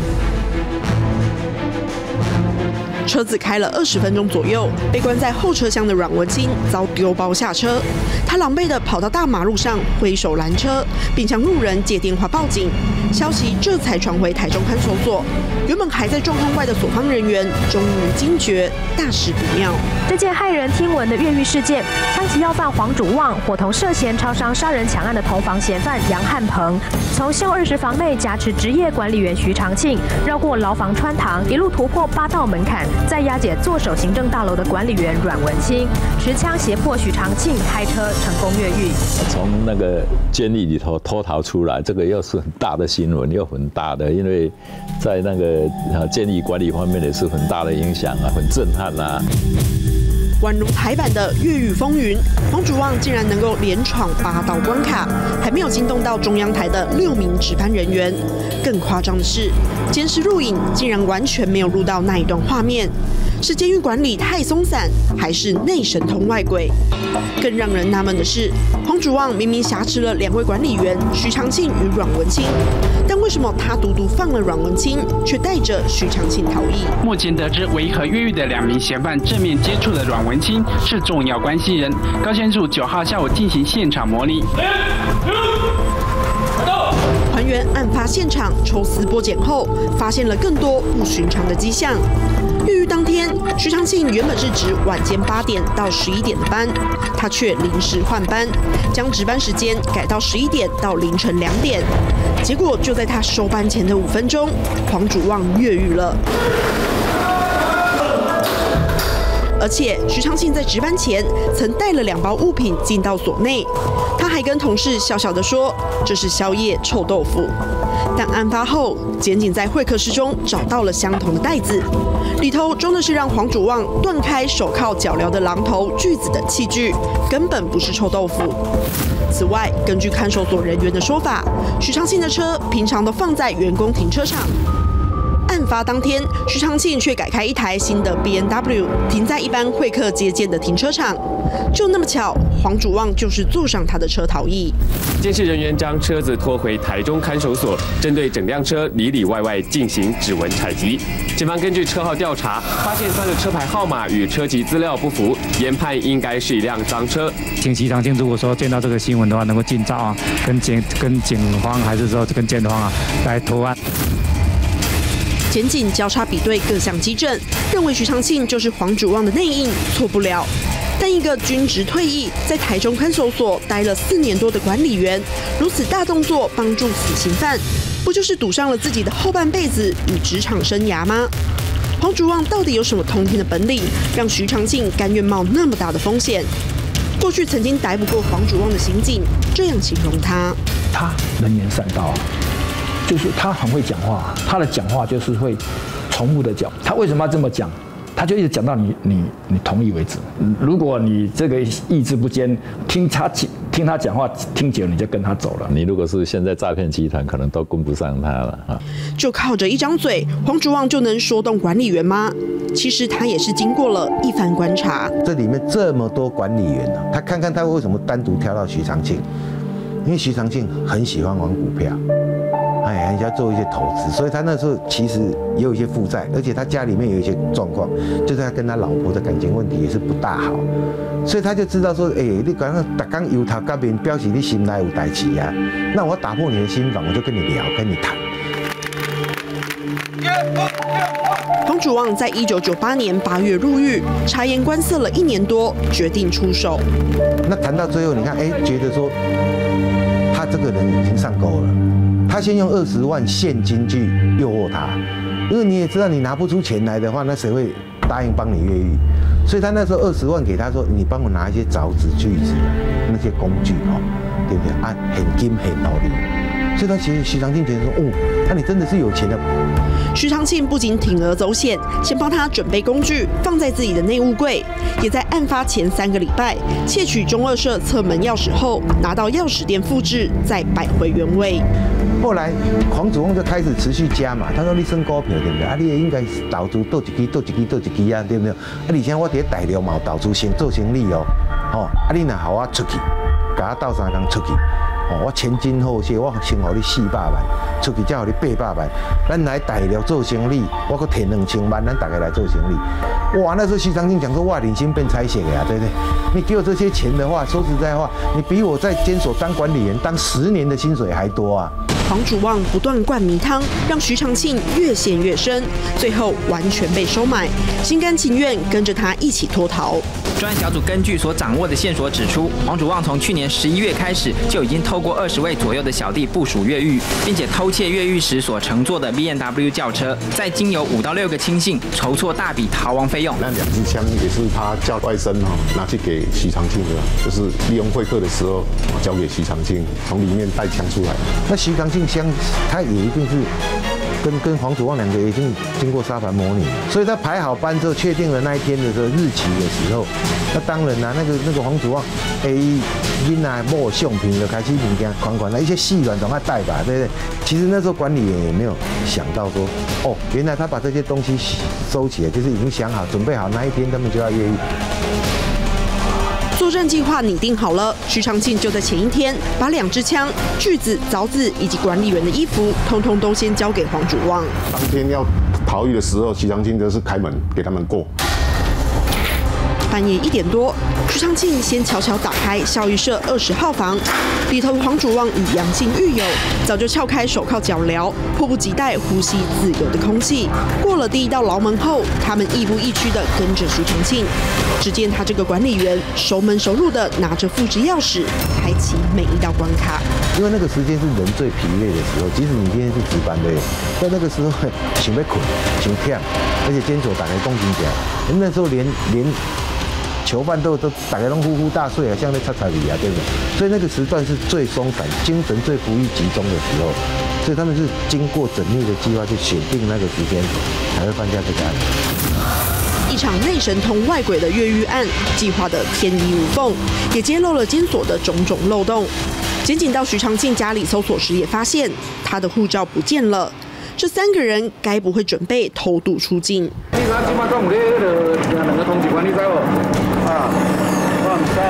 外传越狱脱逃的黄祖旺和南部黑道关系良好，再加上黄祖旺几年前还曾经安排两名手下从屏东东港偷渡出境，因此东港成了警方防堵黄祖旺出境的重要据点。我们从海洋的、岸际的以及这个道路的警察，目前我们三方面都配合的非常好。由于黄祖旺一向信号于色，警方不排除他脱逃之后会再度重返风月场所。那个 KTV 啦，还是酒店啊，都有派岗哨在那边埋伏。警方陆海空大包抄，就是要找到黄祖旺等三名脱逃重犯。这时候，道上兄弟传来风声，有人掌握了他的下落。他逃。出来的时候，我们就有线报说他会跑到我们园林这个地方，说要对我们之前办过他的案子的警察人员啊，也有放放出风声说我们对我不理啊。黄主旺逃狱真的冲着警方而来吗？就怕一向说到做到的鬼见愁真的要来报仇。跟他交手过两次的刑事小队长黄进昌做了这个动作。那个时候我就写报告，跟分局长报告说我要二十四小时配枪，因为我也怕他来找我。他找我的时候我没有枪的话，我怎么跟他拼命呢？警枪二十四小时不离身，一直到越狱案发生后的第十三天，黄进昌果真接到线报，黄主旺在园林地区出没。前一天是接到电话，是他在那个园林市的光明街那边，就是徒步街啊，哦，底下闲逛，底下边棒球帽，然后衣服口去那边，啊，有人看到，是确定他没错。逃狱的三个人竟然还有闲情逸致逛大街，警方赶往现场埋伏，但可惜晚了一步，三个人早就骑车逃逸。逃逸出来的时候，先去买买这两部车子，机车都是新的。他们骑着代步工具要去哪？难道是知道自己的行踪曝光，要改到其他地点躲藏吗？因为他们很多枪击要不然在逃亡过程之中是不碰酒、不碰色，所以为什么他们都有自己的女朋友、老婆这样？那黄祖旺不一样，黄祖旺这个人说实话，他他的缺点就败在色字上，他天生好色。自头上一把刀，三名逃犯不是跑去藏匿，竟是跑到护肤店寻欢。幸好警方早就布下天罗地网，跟八大行业的老板们通通知会。要是看到黄主旺，立即通报。他说：“你们你们爱主旺啊，来我家，已经叫人过来。那个时候一叠是这一家啊，这一家是一叠护肤美容。消费完以后，就是从这边走出来。啊，我们我们的车子是埋伏埋伏在这边，埋伏在前面，我就可以确定是黄祖光没错，因为他的身材我都知道，差不多一百七十八公分，然后壮壮的。”确定眼前的对象就是目标黄主旺，但该直接抓人吗？警方有所顾虑，因为护肤中心位处园林市区，黄主旺三人身上有枪，要是警匪枪战真的开打，恐怕会伤及无辜，因此警方决定跟监。器物中心吗？我黄小队长，我们现在跟监黄主旺从一叠护肤坊出来，黄主旺跟杨汉鹏分成两部机车，他现在往南下，往永靖的方向，举光路往永靖的方向逃窜。警方兵分两路，一组跟着黄主旺，一组跟着徐长信和杨姓逃犯。但警方跟了几公里后，杨姓逃犯察觉后头有人跟踪，立刻从后背包掏出长枪。那个时候我看他在背前起来啊，在背一支 M P 或者灯枪啊，我就开始从后打下来，打下来，然后对空鸣枪，叫他停住这样。先开个十四枪，哦，你也知道连续开十四枪那种震撼力很够，对？然后他就到这边红绿灯的时候右转，他就转到这个小巷子里面，一开就进来啊。到这边我发现说他已经快离开我，或者救援同事工吹了一个他拢了，就是在这个地方跟他撞撞了以后哈，他的机车就倒在这边，人人人两个人就趴在趴在这个地方。啊！我就下车以后就就把他跪在身上哈，请来渡了哈，叫他不要动。啊，那我就放靠。警方先逮到了徐长庆和杨姓逃犯，但黄主旺呢？被他跑掉了吗？他说他转进来以后哈，机车就直接骑骑下去下去那个地下道。他是我们后续的警力赶到以后哈，就是埋伏在这边。经过了几分钟以后，他认为说可能。才能造好吧，然后骑上来以后，整个人都被被人家就压制在地上。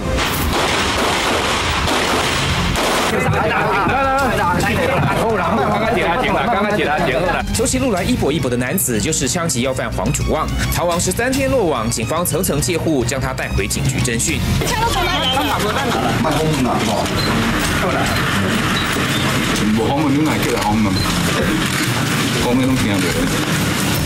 口气不悦，神情中还是难掩大哥的霸气。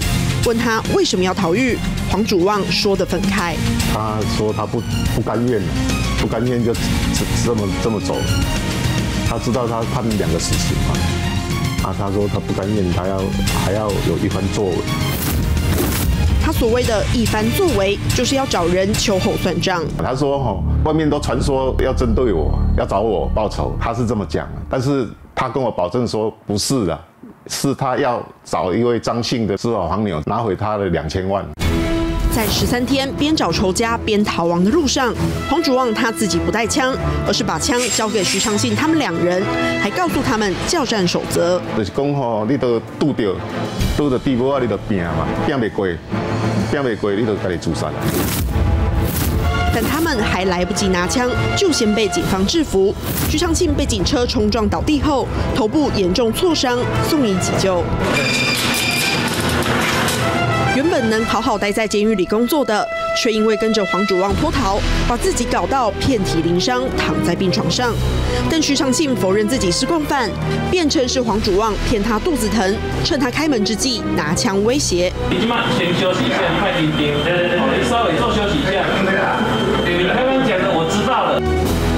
但法官不采信他们的说法。根据证人供词以及传唤黄主旺的小弟证实，他们是透过徐长庆交付枪支等物品给黄主旺。最后，徐长庆因为公务员贪污、脱逃等罪嫌，遭最高法院判刑十二年定验，而黄主旺则被判处有期徒刑十四年。呼吸自由的空气，才短短十三天，黄主旺又被押回大牢。在江湖上，我们看到不少大哥的背后都有个默默跟随他的女人，黄主旺他也不例外。凭着他的三寸不烂之舌，他追到了当年中国小姐第五名，而且对方还愿意跟着他四处的逃亡。就连黄主旺最后被抓进了大牢，关了好多年，他的女友依旧是不离不弃。黄主旺落网后，检警担心他又想金蝉脱壳绕跑，每次移送押解，总有六名以上的员警层层戒护。而黄主旺还是一派作风，用嘴巴、用金钱想摆平任何事。他们现金有带六十万元现金，当场他们拿出五十万元要给我们这个现场的同仁，我们给他玩具啊！哦，他们等于是想要跟我们协会，我们给他玩具。包括我在警察局征信他的时候，他就直接讲我的名字啊！哈，说阿秋啊，你你哦，想办法帮我出去，还是那那些老套了。征信当中哈，他要上厕所，也跟那个押解他上厕所的严警这么讲，拜托，我请我请，也按照按照给我们好处的。见这招不管用，出庭时他更小灯 Shuki，栽赃抓了他三次的刑事组长，说他勒赎家人六十万。为什么会说那个组长拿了你家人六十万？有这回事吗？如果我唔爱讲了，讲迄拢无好，迄个是拄着就笑安就好啊。一张嘴，黑的也能讲成白的。黄主旺的嘴巴攻势也用在追女朋友上。有一个中国小姐第五名的，他的女朋友啊，也是死心塌地跟着他到处逃亡。那这个中国小姐啊，据说是在一个餐会上就遇到嘛。他因为黄祖旺凭他那种三寸不烂之舌，而且他出手很阔绰啊，说很多女孩子很难对这种男人有免疫力啊。对对，而且他加上就是就是那种温情攻势啊，一直追求啊这样。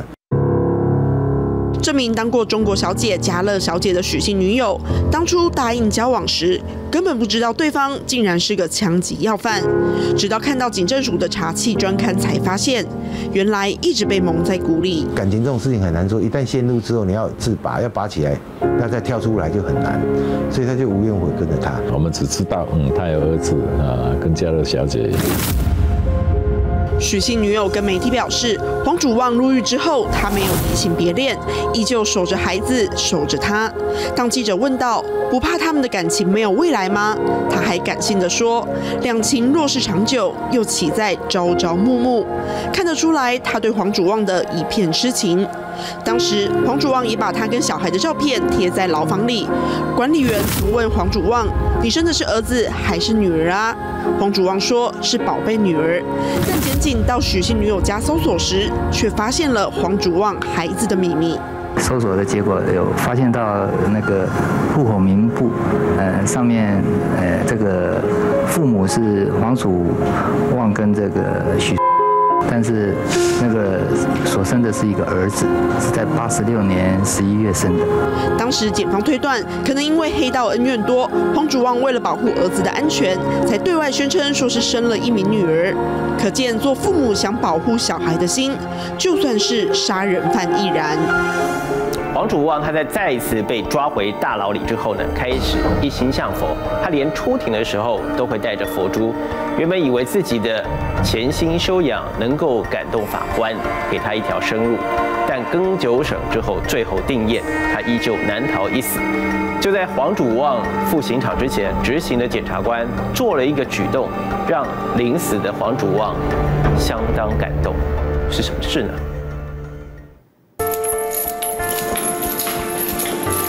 返牢笼的黄祖旺再次出庭时，脸上少了杀气，也褪去些许江湖味。或许跟他在狱中皈依佛门有关。从更一审到更八审，黄祖旺从来不承认他有杀过人，而且所有的事情证据都很明确指向他的时候，他从来不承认。一直到更八审的时候，黄祖旺因为在监狱里面，他后来就潜心向佛嘛，还抄写佛经啊干什么，所以那个时候他的跟八审之后，他才确定他的承认说，对，就是他杀了郑明鹤，而且那时候他为了要逃死，你知道吗？他竟然花了六百万跟郑明鹤的家属达成和解啊！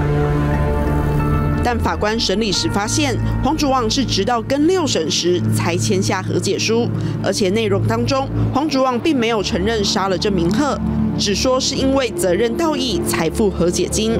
最后到跟八审，他才坦诚杀人，因此高分院驳回他的再审，跟九审死刑确定，他依旧难逃一死。他的求生意志非常强。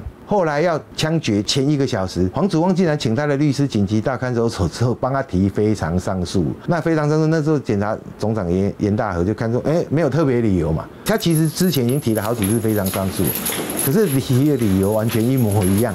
所以严大和后来决定说，哎，你没有特别理由啊，所以就是这个非常上诉啊，让黄祖旺多活了三十分钟。二零一五年六月五号晚间六点五十分，还想活命的黄祖旺，依旧在法警的押解下踏进了刑场。他在执行枪决之前，执行科的检察官也问他说：“你有什么遗言？”那黄祖旺是想说，他真的是对不起他的老婆跟小两个儿子，而且那两个儿子那时候，他说他没有好好的跟他们有照顾他们这样，所以他对不起他们。那时候是算是真情流露，那个执行科检察官被他感动。黄祖旺后来不是一潜心向佛吗？所以这检察官就跟他说：“那我们一起来念往生咒啊！” 所以他们就两个人就在行刑之前就一起在那边念了往生咒，这样。重复朗诵一段又一段的经文，陪他走完人生的最后一里路。在法警一声枪响下，鬼见愁黄祖旺终于伏法。感谢您收看今天《台湾启示录》，我是梅翔，我们再会。欢迎收看《台湾启示录》，我是梅翔。在台湾治安史上，被判处最多死刑的就是这个人，他一共被判处了十个死刑。他叫做吴新华，他从一九八一年开始四处的犯案，直到一九八七年落网，在短短的七年的时间之内，他一共杀害掉了十四条人命。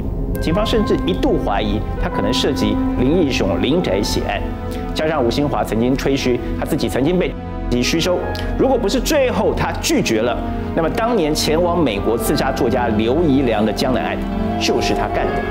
当年警方还慎重其事，甚至跑去问了江南案的首谋陈其礼，结果陈其礼不但否认他和这个人吴新华有任何接触的关系，甚至对于这个人杀害自己的拜马兄弟，甚至滥杀无辜的妇孺的凶残行为，他感到相当的不耻。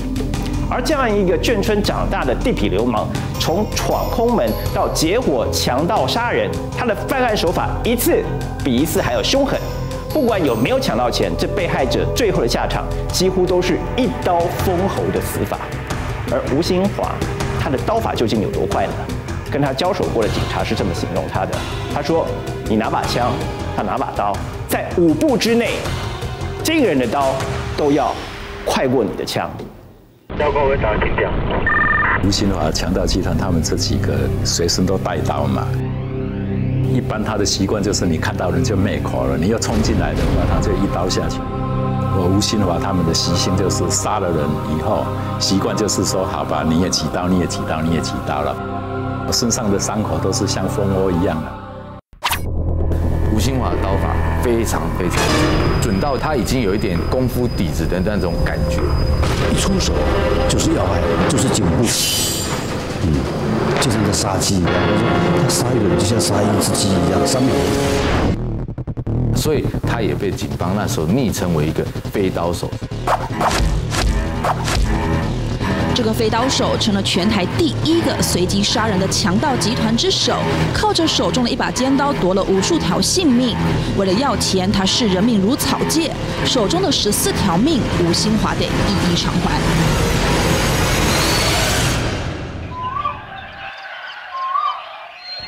在新竹延平路上的眷村，这里是吴兴华的家乡。吴兴华是眷村小孩，家里六个兄弟姐妹，爸爸是士兵，赚的钱不多，日子过得清苦。他离家里的背景出来的话，对小孩子的管教教育的话，他就本本身自己照顾自己都很难了，怎么会去照顾小孩？他的爸爸又是通通是呃士兵士官，又不常在家，生个小孩又是比较放任，教育的话就脱节了。包括了吴兴华在内，他的二哥吴宝生，还有六弟吴兴台，兄弟几个人就跟村子里其他小孩三五成群的混在一起。但混久了，村子里要是有哪户人家掉了东西，总会算到他们头上。他跟他爸爸讲，他爸爸一回来的时候，一听到这样就很生气呀，就因为他那个时候的管教就是用用比较暴力的在管教啊，就会吊起来打了啊，他这个个性就是这个样子啊，然后他们心里的内心又会比较不平衡嘛。每一次的管教都加深了吴兴华心中的不平，因为说再多也没用，大人根本听不下去。慢慢的，吴兴华路越走越偏，他开始偷东西、闯空门。当时他跟村子里一名董姓少年有了争执，双方约定谈判，没想到却闹出了人命。他一开始哈，他不是准备杀他，只是要教训他了。啊，所以就把他们带带到那个义民庙附近的一个桥下。啊，那个少年本来就自能不足了，他就想马上就要逃掉了。他逃掉，他们就不小心就把他打死掉了。死了一个人怎么办？一群人全慌了。没想到吴兴华拿出刀来，接下来的举动让所有人全都傻了。吴新华当初就是刀交给其他的三个人，一个人在捕食刀，只有他出手不行，他一定要让他其他同伙有参与感，而且没有办法脱离他这个集团。即便死了，你也要来再捅一刀。呃，这是他的他的行事风格。他那个时候就观念就是责任一起背啊。哦，你比不比较不会出卖我嘛？因为你讲的话，你也有啊，你也有杀啊。就怕东窗事发，他竟然想得出这种方法。这是吴新华取的第一条命，也是让他从此回不了头的开端。手中的一条命，也让吴新华更加有恃无恐。他们的想要发财嘛，然后他们会觉得不正义嘛，因为他从小就生活那么穷苦，为什么别人可以生活比较好？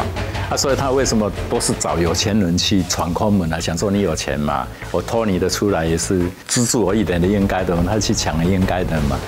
他们整个集团的人开始到处的四处的抢劫、偷窃。那吴新华集团他们所犯下的金额，或是说强盗的案子，以我们现在治安的角度，或是我们几件社会很瞩目的大案子来讲，并不算什么。以金额来讲，并不算什么。但是他们恐怖的地方是在他们这个残忍的杀人手法上面。从羡慕到嫉妒，他看不惯那些日子过得比他好的人。既然你有钱，那就分我一点吧。这样的偏差念头就牢牢地刻在吴新华的脑海中。平时吴新华就摆摆路边摊，赚赚生活费。因为他也结过婚嘛，就住在山场里头嘛，生活不是很好啊。他平常夏天就卖冰淇淋嘛。冬天的话，他就卖花生糖嘛。要是缺钱花用，他就会找上眷村同伙赚点外快。他作案的话，就是不是天天作案啊？他就礼拜六、礼拜天打个电话回来，哎呀，又卖不到几个钱，没有钱的话，穷疯了的，大家出来再来做一做嘛。吴兴华集团呢，他们是从眷村混混混出来的，就是闯空门、偷东西。但是闯空门要碰运气，也不是每一次都能偷到很多钱。他每次得手的现金都非常非常的少，少则几万块，多则十万出头。从头到尾，他真的都没有说所谓赚到很大条很大条的钱。他得到这十几万元，都不是只有他一个人拿，他还要分一一些些给他的同伙，所以他也必须要靠不断的犯案。就这样，不是偷就是抢。吴新华手中的案子一件接着一件，手段也越来越狠。他是乱枪打鸟，他是没有计划去了就抢，他去了就抢，他不是说事先跟你恐吓，哦，让你知道我我我吴某人你会给我，他没有，他那当时的知名度是没有那么高的，大家只知道有一股土匪到处抢这样子而已。一九八二年四月五号，他与同伙行经台北市，锁定的目标外交部司机黄大广。他们在这个台北市，在街头上长春路看到一个，哎，有个人开个四千 CC 的大轿车啊，欧金欧金，他开着车子，他以为是他会没有钱的了，因为他穿着西装笔挺，因为他开着是我们的公务车，当然欧金欧金看起来都救急嘛，所以就当街下来，就把他押到苗栗的南庄偏远的山区。原本一开始是要抢司机的钱，就却发觉司机身上并没有什么钱。但人绑都绑了，总不可能把人放了，让他有机会去报警吧？于是吴新华心一横，干脆一不做二不休，所以直接就挖了一个坑，叫这个司机跪在坑里面哦，也是一下五六十刀，把这司机砍到几乎断气。啊，他不是用拿拿这样杀人，他是这样一刀下去，都是直接下去就差不多了。不仅如此，为了近距离可以快很准的取人性命，吴新华手中的刀还是自己亲手磨出来的。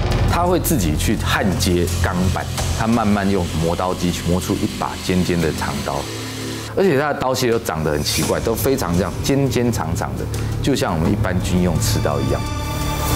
它磨起来就是两边都双人，这样可以杀人啊，比较方便嘛。跟他交手过的远景都说吴新华的手段凶狠，但是认识吴新华的人却说，其实吴新华的胆子不大。曾经他在摆摊时遇上了地痞流氓，被吓到连生意都不做了。他有一次摆摊位，摆到一个猪肉摊的旁边，猪肉摊这个是新竹风飞沙的老大级的，结果哈。没有被打，只是他出生的话，他吓得以后都不敢摆在那边了。所以胆子并不是很大啦，啊，胆子不大的话，有时候人会有极端嘛，就下手就会很凶残了，啊，不让你有机会就对了。胆小凶残，吴新华身上有着这两种极端反差的性格。每次犯难，他绝对不会独自一个人，他邀其同伙下手比一般人还要狠，不留活口。一方面也是要让同伙惧怕他，不敢违逆他，出卖他。他说要作案打电话，你就要回来啊，跟他一起作案呐，要不然他的恐吓不止杀你，而杀你家人。他们的内化的一个纪律也是算是蛮恐怖的了。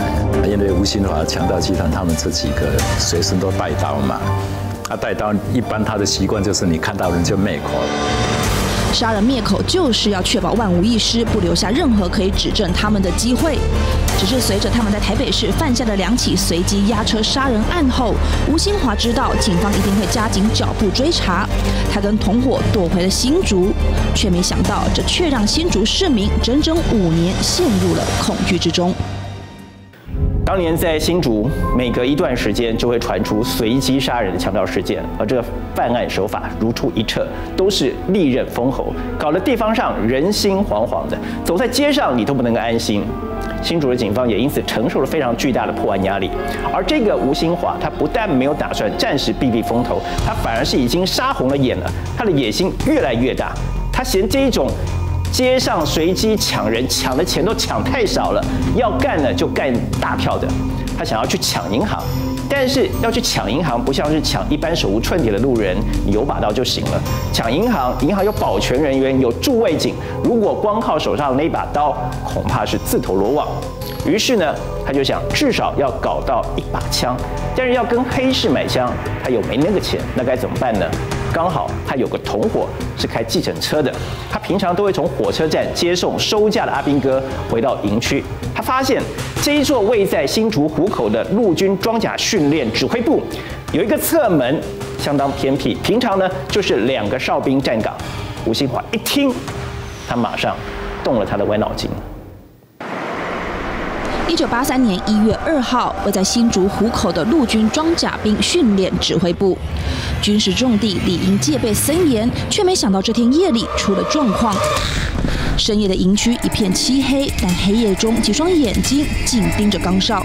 他们就看到两个宪兵站在这个第十一号岗哨，第十一号岗哨离大门比较远。突然间，一阵刺眼的车灯打了过来。那两个哨兵，哇，好刺眼啊！然后想说到底什么事情，所以两个人就走出来。两名束手的卫兵上前询问，几名歹徒借口要问路，松懈了卫兵的心防。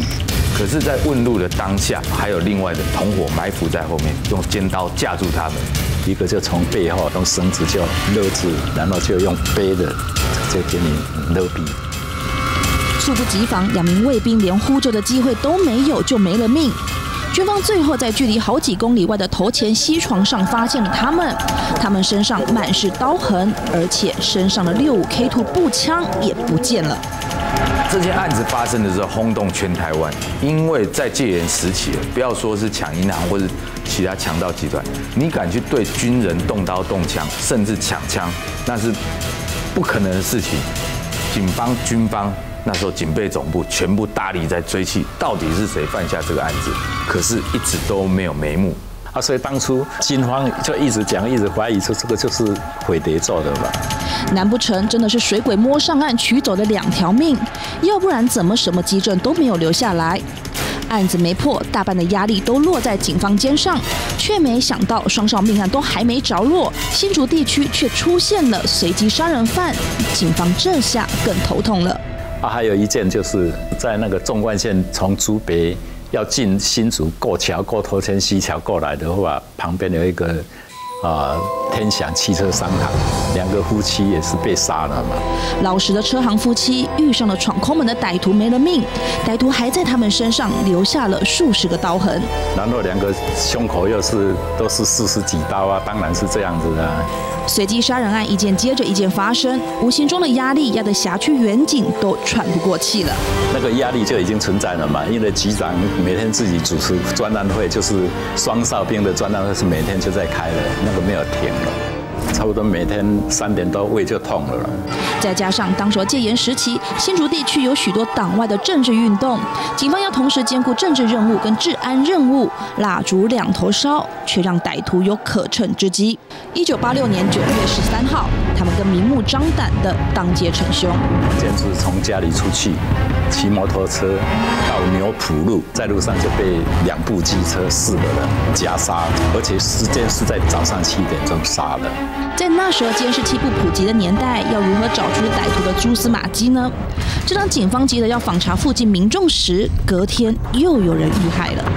我们还在查，还在查，结果第二天又发生吴秋龙命案，结果两个长相又长得差不多，身高差不多，啊，那两个又喜欢穿短裤骑机车，同样骑机车出去，又被四个人围杀杀掉。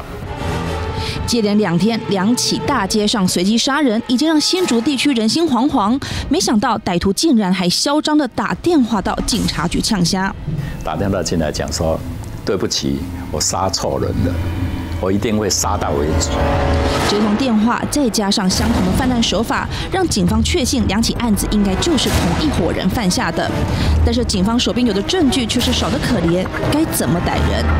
那彭建志发生完了以后，因为验尸过了以后，出殡两三天了以后。他老婆马上带着小孩，全家就搬走了。警方清查这个彭姓被害人经营纸工厂，是个老实的生意人，但是看他家人的反应也太反常了。彭建是平常啊做生意做得好好的啊，但是晚上就会跟这个姓郑的朋友小酌几杯，但是喝到一半气氛也差不多了，就开始哭了。他哭了就会跟这个朋友讲哦，我活不长了。我如果万一有一天我有意外发生的时候，你告诉警察，哦，就是吴新华他们这几个人杀的。警方决定顺着这个线索再往下追。吴新华这个名字，警方不陌生，但是被害人怎么会跟吴新华扯上边？追查下去才发现，原来死者在经营纸工厂之前，曾经帮吴新华集团销赃。当时候他跟吴新华的同伙李德善交情不错，某一天李德善拿了两把枪给他，要他藏起来。拿到两把的六四步枪，有放过彭建志的家里。双哨兵一回来的时候，就跟这彭建志讲啊。他讲说，现在行情跟以前不一样了。这两把步枪让警方立刻联想到双少命案，难不成这个死者是被灭口的吗？吴新华跟双少命案有关联吗？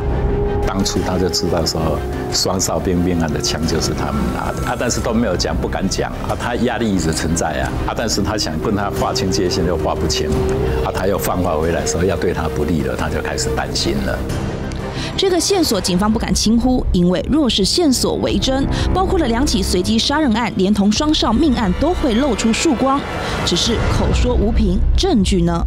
你要把这个人抓回来问，你有没有什么证据？你问他不承认，你没有什么啊？不管是随机杀人还是双少命案，通通没有证据。尽管警方曾经把吴新华一伙人带回警察局，但是就是拿他们没辙。他当初违警花法还没有修改，一般警察可以裁决你关一个礼拜到两个礼拜。新浦分局抓去关了七天，他天天问也问不出所以然来。之后又被新竹市的刑警队抓去，也是关了七天，但是问不出所以来。没证据也只能把人放了，还能怎么突破呢？没想到旧案没发展，随机杀人案却也没停歇。从大街上的随机砍杀，竟然演变成随机闯空门杀人。他不是经过有有缜密的计划，去经过恐吓，然后叫他准备钱，他不是，他就直接冲进去，嗯，直接就抢的，他就拿着刀，呃，一就是几个人一进去以后，就是要钱。啊，就随机看到了就灭口就对了，几乎一刀就倒下去了，一刀一个，一一刀一个。几乎每一两个月就会有无辜的被害者，有高中生枉死租屋处，也有一家四口被砍杀，整个大新竹地区人心惶惶。有人形容这是新竹治安史上最黑暗的日子。所以从双哨兵命案、双警命案，到所有的银楼命案、车行命案，到路上的随机杀人，就突然间发生。然后没有了后续，所以每个民众大家都在害怕担心啊，下一个会不会就是轮到我？那警方办了五年也都没有辙，这这这五年中间完全几乎是没有任何的迹象，说或者说任何的对象，连我想要去抓谁都不知道，所以那时候整个气非常非常的紧张。啊，所以当初的啊，新子说真的，我们也不敢讲说他是随机的了哈，啊，就把它当成一般的，因为你一讲的话，人心惶惶是一一时免不了的。从双少命案到大街上随机砍人，再到闯空门强盗杀人，每一个死者身上全部都是刀痕累累，而且致命的那一刀全都相同。这几件分析起来的话，你致命在哪里？然后几刀手法这么凶残的，不是每个人都会一样的。作案者都有一个习性了，习惯这样杀人的话，他都很安全，他都会继续这用这种手法比较多了。相同的手法让蔡世一大胆假设，包括了双少命案以及这些随机杀人案，应该都是同一组人所为。但会是谁呢？还记得曾经有被害人疑似替吴新华集团藏步枪而遭到灭口。若是这个假设为真，那么吴新华强盗集团肯定跟这几条人命脱不了关系。但是。该怎么证明吴新华这个人究竟有多凶残呢？根据警方的调查，他每杀一个人，就要同伙每个人都上前补刀。为什么要这么做呢？他的意思就是要大家都有份，万一被抓了，一个都逃不了。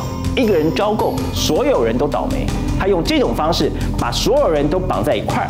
所以尽管呢，他们会因为一些小窃案不小心被抓进了警察局，但却因为打死不认，所以警方也拿他们没有办法。而且吴新华这个人，他疑心病很重，只要有一句话惹他不高兴，就算你是拜把兄弟，也照杀不误。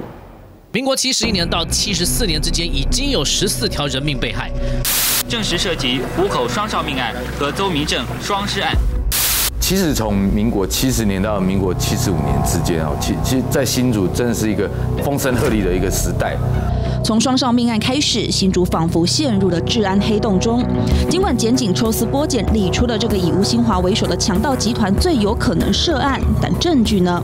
突破真的很不容易啦，因为每一个人他都是有互相约束好了嘛，我不能出卖你，你不能出卖哦。吴兴华的同党口风很紧，还记得吴兴华每每犯案后定会要求同伙得要补刀吗？再加上吴兴华的疑心病重，他的拜把兄弟邹明正就是惨死在吴兴华刀下。这一辈子他就把这个邹明正哦视为他最好的兄弟。有一次，邹明正在台北犯下一个美丽华饭店的枪击案，然后被警方追缉，他就逃到了新竹找吴兴华。邹明正希望吴新华能够给点跑路费，拜把兄弟嘛，这点小忙应该不为过吧？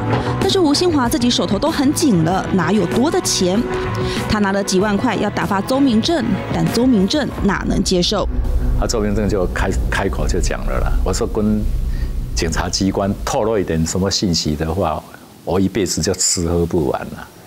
就这一句话惹了死神上门。讲到喝酒，喝到一半就把周明志叫出去，然后就拿个圆锹就打，没有死掉，他们就继续把他杀，杀到哇哇叫，杀死掉。啊，他的女朋友在里面，那怎么听到声音就跑出来？一看到他女朋友被杀，在为了认为这个人活在世界上对他有威胁，他就把他干掉，所以他的这个疑心病非常重。结拜兄弟，晓得了所对的，因为所以他们的凶魂就是这样子的。警方再怎么怀疑他们这一伙人有问题，没人敢开口，没有证据也没法办。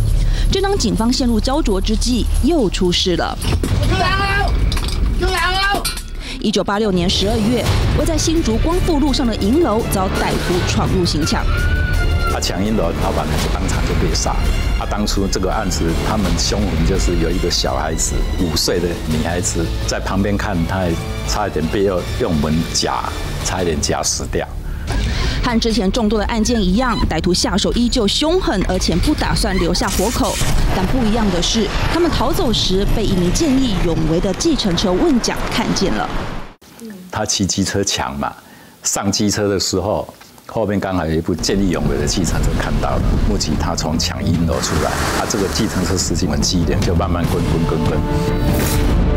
同时间，警方接获线报，警网立刻出动，迅速将人全拦了下来。抢银罗的头套、手套、现场的刀子、里面的首饰都在车上，就轮赃俱获了。所以这批人刚好就是我准备要问他虎口双杀边的边的重点对象。吴兴华的同伙全落网了，但吴兴华人呢？警方大批警力前往吴兴华的住处找人，却没想到一进到屋里，看见了吴兴华，他在做什么？到他家里面，他就在磨刀了。眼前的这个吴新华神情自若地磨着手中的尖刀，面对警方所有的询问，他有问必答，就没有感觉到有异样啊。他只是在家里面磨刀啊。他们这边作案跟他，你怎么把他串在一起？你凭什么把他串在一起？人还没有讲说是他的，你也不能抓他。吴新华冷静的程度让警方自己也怀疑，难不成真的找错人了吗？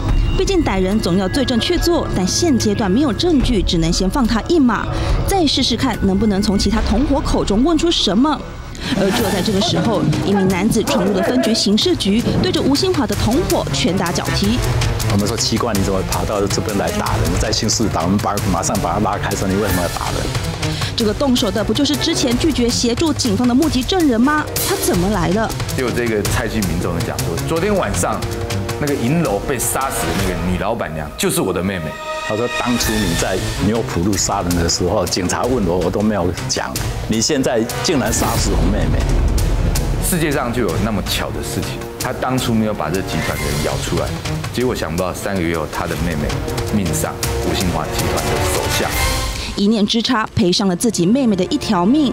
但亡羊补牢犹未晚，这个目击证人的出现，让警方像是吃了定心丸，靠着他的证词，所有的案子全串在一起了。”共犯的新房突破后，确认了吴兴华就是主谋，但这个时候吴兴华早就跑了，他躲到了新竹宝山的秘密基地。他知道警方找上门是迟早的事，他做足了准备。吴兴华他做了什么准备呢？还记得我们刚刚提到了，他犯下了虎口双少命案所抢走的那两把六五 K two 步枪吗？当时他抢了这两把步枪，是为了要去抢银行。但是等到步枪到手了，他却发现这长枪实在不好用。一来长枪太大只了，就算你背在包包里头，当你走进银行也很醒目，很容易引起注意。二来，当你要开枪的时候，这长枪的机动性也不好，不如短枪来得好。所以吴兴华后来去抢这家银楼，他还是用他最惯用的刀。但是在他落网之后，他告诉警方，这两把步枪还是有用的，因为当他的同伙都落网了，他一人逃回了他的秘密基地。只要警方找上门，他已经做好了大开杀戒的准备了。经回到十岁农场，两支步枪已经架在那里，子弹一千多发，一个警察进去就打一个。农场的出入口就这么一个，吴兴华打的算盘是，要是警方真找上门，他绝对是一个不漏的大开杀戒。他在那边架了一天一夜啊，没有睡就架在架了一天，要等警察来。没想到吴新华等了一天一夜都等不到警察上门，原来是同伙的口风太紧，不肯供出吴新华的藏匿地。但是这却也保住了无数远警的性命。那个步枪的话，说真的，我们防弹衣没有用，一定打穿。而且当初那个时候我们是年轻正冲的时候，不可能说穿防弹衣去就去冲。哦，那时我们随便调个十个人去，就可能十个人死在那边了。当远景好不容易问出了吴兴华的藏匿地时，吴兴华早就溜了。而当远景踏进这个农场时，他现场很多狗掉在那边了，杀狗来练刀了。不止杀狗，农场里的每一棵树更被砍得面目全非。啊，还有一个砍树，啊，就是社会标射树。甚至他说，他杀一个人，他已经练到眼到、心到、手到，杀一个人只要三秒钟。他在五步之内呢，你拿枪，他拿刀，他还可以赢我。所以他也被警方那时候昵称为一个飞刀手，是这样的一个由来。原来吴兴华平时就在这里杀狗练胆、砍树练飞刀，难怪他总能在瞬间取人性命，让被害人连反击的机会都没有。不仅如此，警方还在农场里发现了两本杂志。不过，是两本杂志有什么特别的？在十岁农场发现大胡子，啊，然后十岁农场里头有一本翡翠杂志。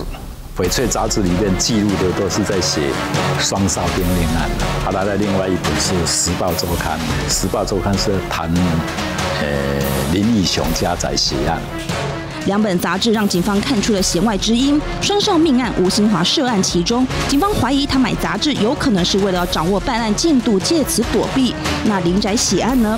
现场除了杂志之外，还有一个大胡子，难不成林宅血案也跟吴兴华有关吗？为什么一副大胡子会让警方联想到林宅血案呢？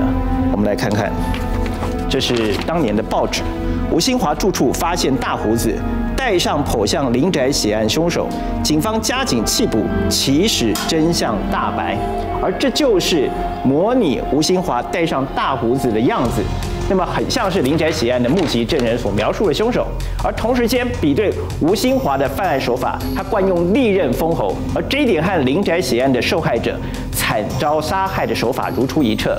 加上林宅血案发生的时间是在一九八零年，也正好和吴兴华这个集团开始四处犯案的时间相当接近。而当时新竹警方发现了这个事情之后，相当的重视，立刻通报了八号分机，并且出动大批的警力。追击吴兴华。一九八零年二月，前民进党主席林义雄为在台北市的家中遭歹徒闯入，包括了他的母亲跟双胞胎女儿全被杀害。曾经有目击者看见案发前有个大胡子男子出入林家，警方怀疑这个大胡子肯定跟林宅血案有关。而新竹警方追捕吴兴华集团时，就在吴兴华藏匿的农场里找到了一把大胡子，还有报道血案的一本杂志。我是认为是说林立雄家在血案，哦，因为大胡子跟这个记录里头的话，应该是跟吴兴华他们有关系，所以林立雄家宅血案的作案手法就是他们这几个人作案手法。说真的，都是刀嘛。不仅如此，当时还有密报直指这歹徒疑似跟新竹有地缘关系，再加上吴兴华戴上大胡子的样貌跟林宅血案的凶手样貌颇为相似，引起了警方的联想。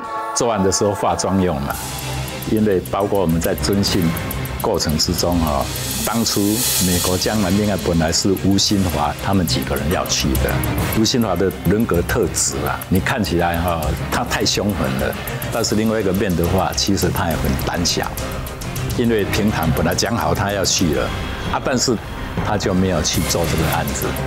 他们那个当初几个人啊，包括这几个啊族人的，他们一直讲情报局应用。既然国外你不去，国内你应该去，所以我才会当初就很大胆的下判断。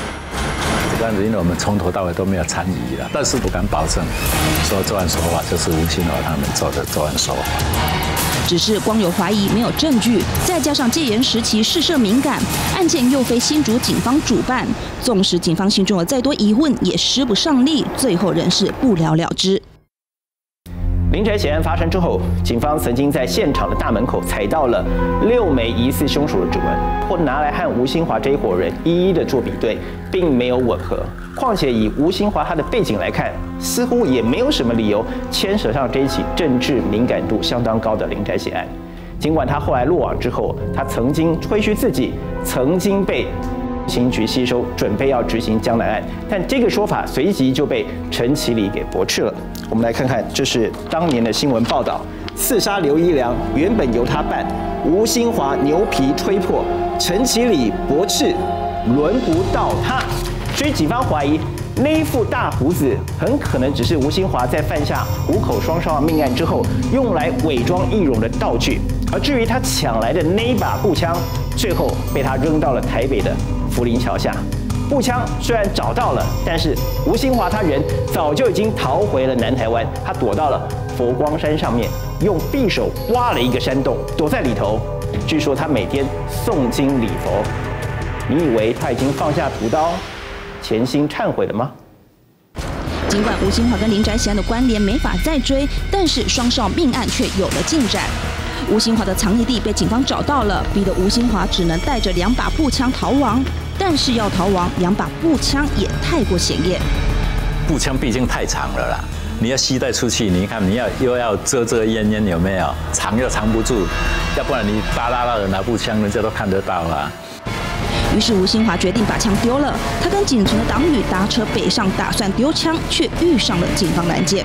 经过开车收费站的时候，被警员把他拦车检查。当时他车上有六支步枪。他怕曝光，所以他就冲了，冲冲到，呃，冲了一段距离以后啊，他叫李子白把他放下来，他拿了六四步步枪呢，从那个坎坡逃要逃逸。这一次吴新华又逃了，但法网恢恢，几天后，警方循着线索逮到了吴新华仅存的党羽。首先，他得要先交代两把步枪的下落，却没想到这步枪早就被他们扔了。因为步枪没有用，带着反正逃亡不方便啊，他就把它系成一段一段。两把步枪被肢解后，全部被丢到河里了。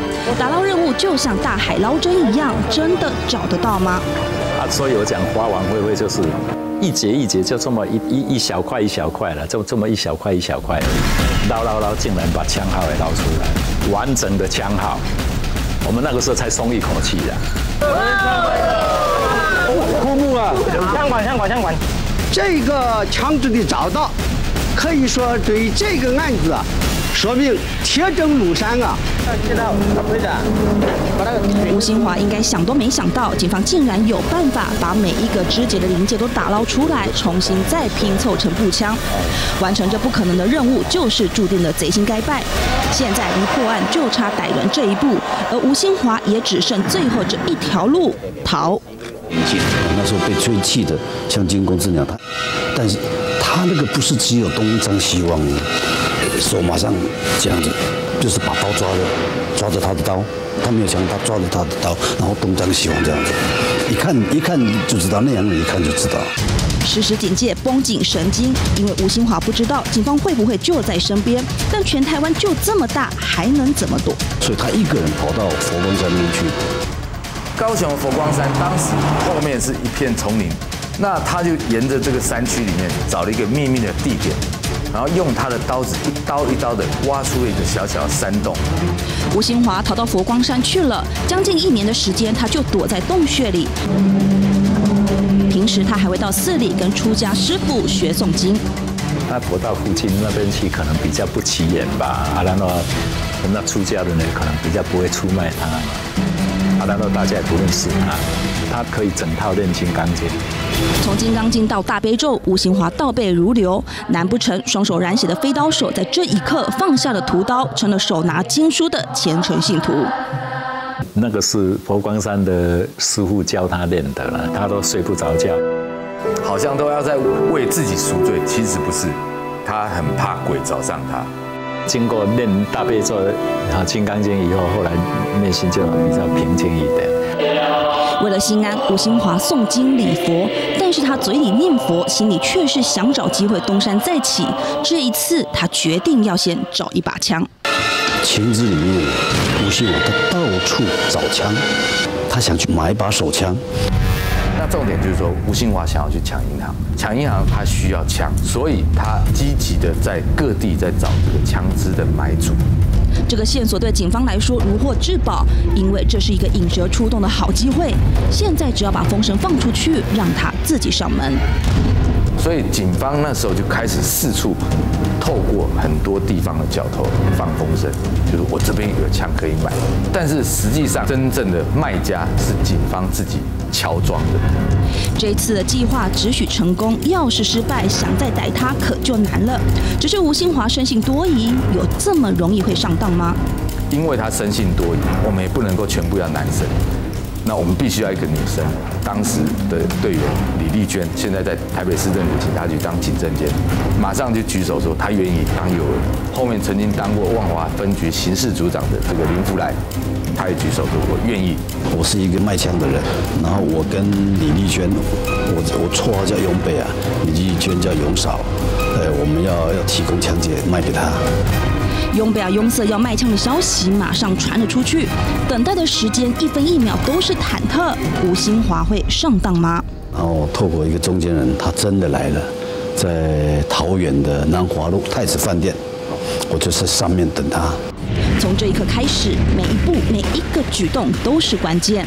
李立娟他在一楼等那个中间人，要带吴兴华上来。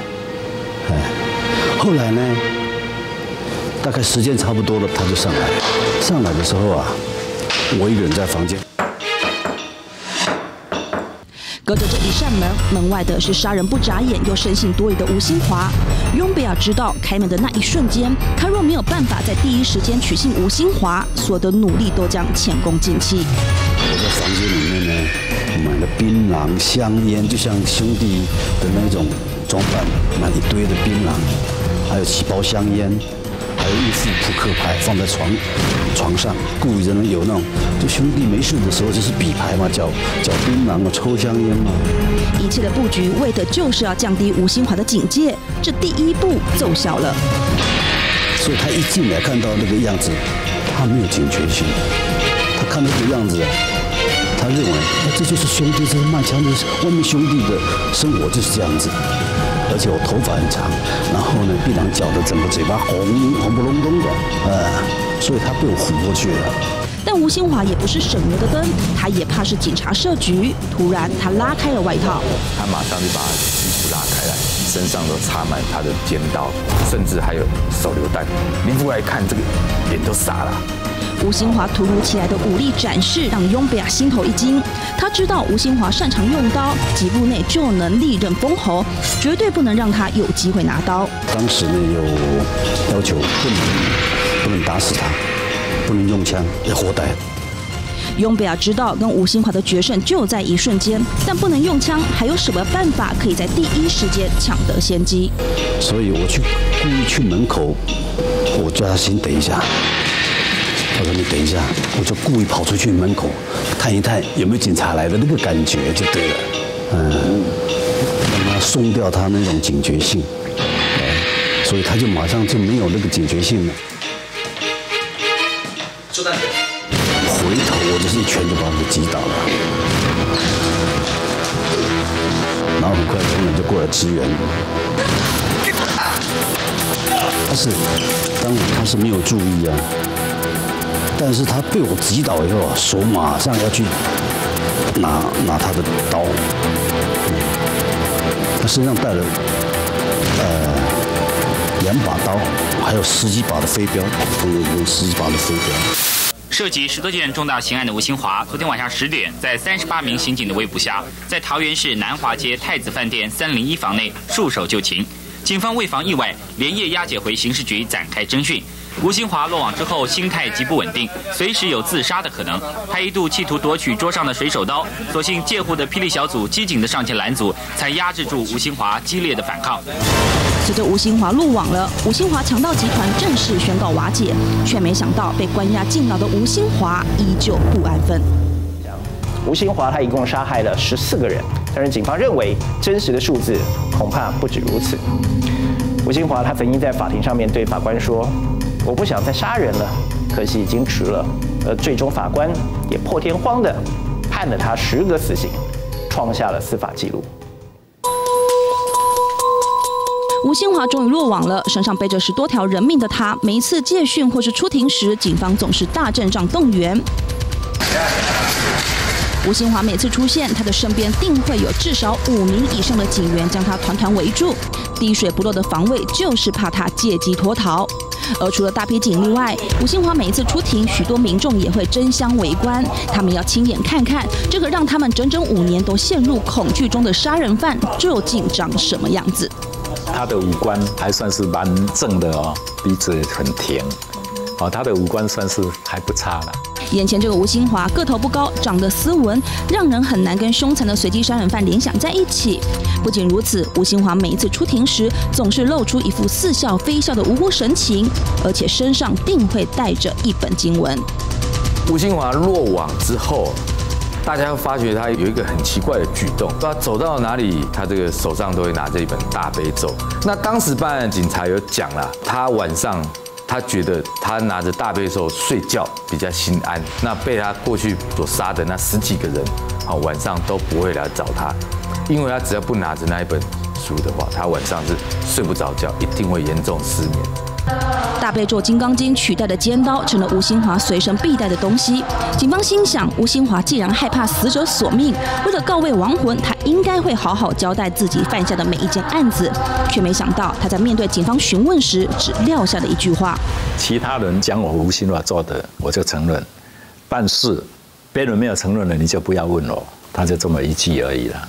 他就表示说：“我没有出出卖那些朋友啊。”罪证确凿的，反正也赖不掉。吴兴华都坦诚不会，别人没说的，要从他嘴里套出话来，可真的难如登天。问题是，警方侦讯时明明都是分开讯问，他怎么都知道警方问了哪些，同伙讲了哪些？他就写字条传证了，人家问我什么什么，啊，然后问哪一件事情。他把死者都是说彭建志，他就叫彭猴子；吴秋荣叫吴猴子；他谢文通就是谢猴子。他一件件在传证。哦，这个长官昨天来问我什么什么什么什么什么什么什么，我怎么讲？明明都已经被羁押了，吴新华跟同伙竟然还有办法隔着铁牢互通有无。哎，这几个人很不安分，毕竟他们做的案子都比较大的案子啊，啊，所以那些同样是在里面关的人啊。对他们是另眼相看的，他叫他传过去，他就传过去了啦。再建立一个就是大案的就吃小案的。但他们再有本事，这串证的纸条仍是被锁方拦截，这一张张的字条更成了铁证。一九八八年五月十九号，最高法院作出的判决，包括了吴兴华、吴兴华的二哥跟六弟在内的共犯共七人，被判处了四十八个死刑。吴兴华强盗集团这个案子里面被枪毙的，他家族里面叫吴兴华嘛，他老二吴宝生嘛，还有老六吴兴台嘛，有些十一个死刑，有些六个死刑，有些几个啊，所以吴兴华应该是最多了。吴兴华后面啊被判决了这个十个死刑，是目前台湾治安史上有史以来到现在还没人能够打破的一个记录。判决定谳没多久呢，立刻就要执行死刑了。但是没有想到，连续开了四枪，都打在吴兴华的左胸口，却发现他还没有断气。现场的气氛一度相当诡异。一九八八年五月二十七号这一天凌晨五点多，刺耳的脚镣声打破了凌晨的静谧。吴兴华在法警的押解下踏进了刑场。曾经一双手取得无数条人命的吴兴华，纵使再凶狠，但面对生死交关之际，这人生的最后一餐，他食不下咽。因为咱有准备一个饭，吼，啊，佮有卤卵、鸡腿、鱼肉啊，互伊食嘛，啊，佮有粉互伊食一支，啊，佮有高粱酒嘛，吼，啊，伊若伫遐慢慢来，咱嘛别来管。那他卤菜也没有吃，但是再把这个整个高粱酒拿起来就一直灌，那小高粱酒他灌了快一瓶下去。靠着酒精麻痹自己的恐惧，时间到了，该上路了。有法医师打了麻醉药剂后，吴新华被带上了刑场。他有那三个法警会搀扶搀扶过来，两个两个在两侧，一个提后面搀扶过来。他趴下去的时候，法医会画他心脏位置。确认了心脏的位置后，准备执行。一般的死刑犯枪决时，法警约莫开一两枪，枪决就会结束。没想到作恶多端的吴兴华却走得比其他死囚还要辛苦。我们在国内的死刑案例里面，通常大概就是两枪就结束了，很少挨过第三枪。可是怪事就发生在吴兴华身上，他一个年轻法警先开第一枪，那这位收容人一枪开下去之后。当场有哀嚎惨叫声，啊，年轻法警这个时候有一点被吓到，所以他又开不下去第二枪。后面那一位老法警、资深法警就上前给他补一枪。他也是这样子，不是射击，是近距离有那个子弹。哦，是因为年轻的法警已经有一点受到惊吓，对，开不下去。吴新华怎么还有气息？所有人全傻了，到底发生什么事？连法医也想不透怎么会这个样子嘞。然后再仔细下去听，才发觉，哎，竟然还有心跳声。想不到他的心脏非常非常偏右，在第四枪隔了一个小时才补上第五枪，才因此断气。直到生命终结的这一刻，吴新华才体会到什么叫做生不如死。感谢您收看《今天台湾启示录》，我是梅翔，我们再会了。欢迎收看《台湾启示录》，我是梅翔。在每个扑朔迷离的重案现场，在每个重大事件的第一时间，我们抽丝剥茧，追索事实的真相。YouTube 总观看超过五亿次，频道订阅人数突破了一百万。感谢您这一路上的支持，我们会更加努力。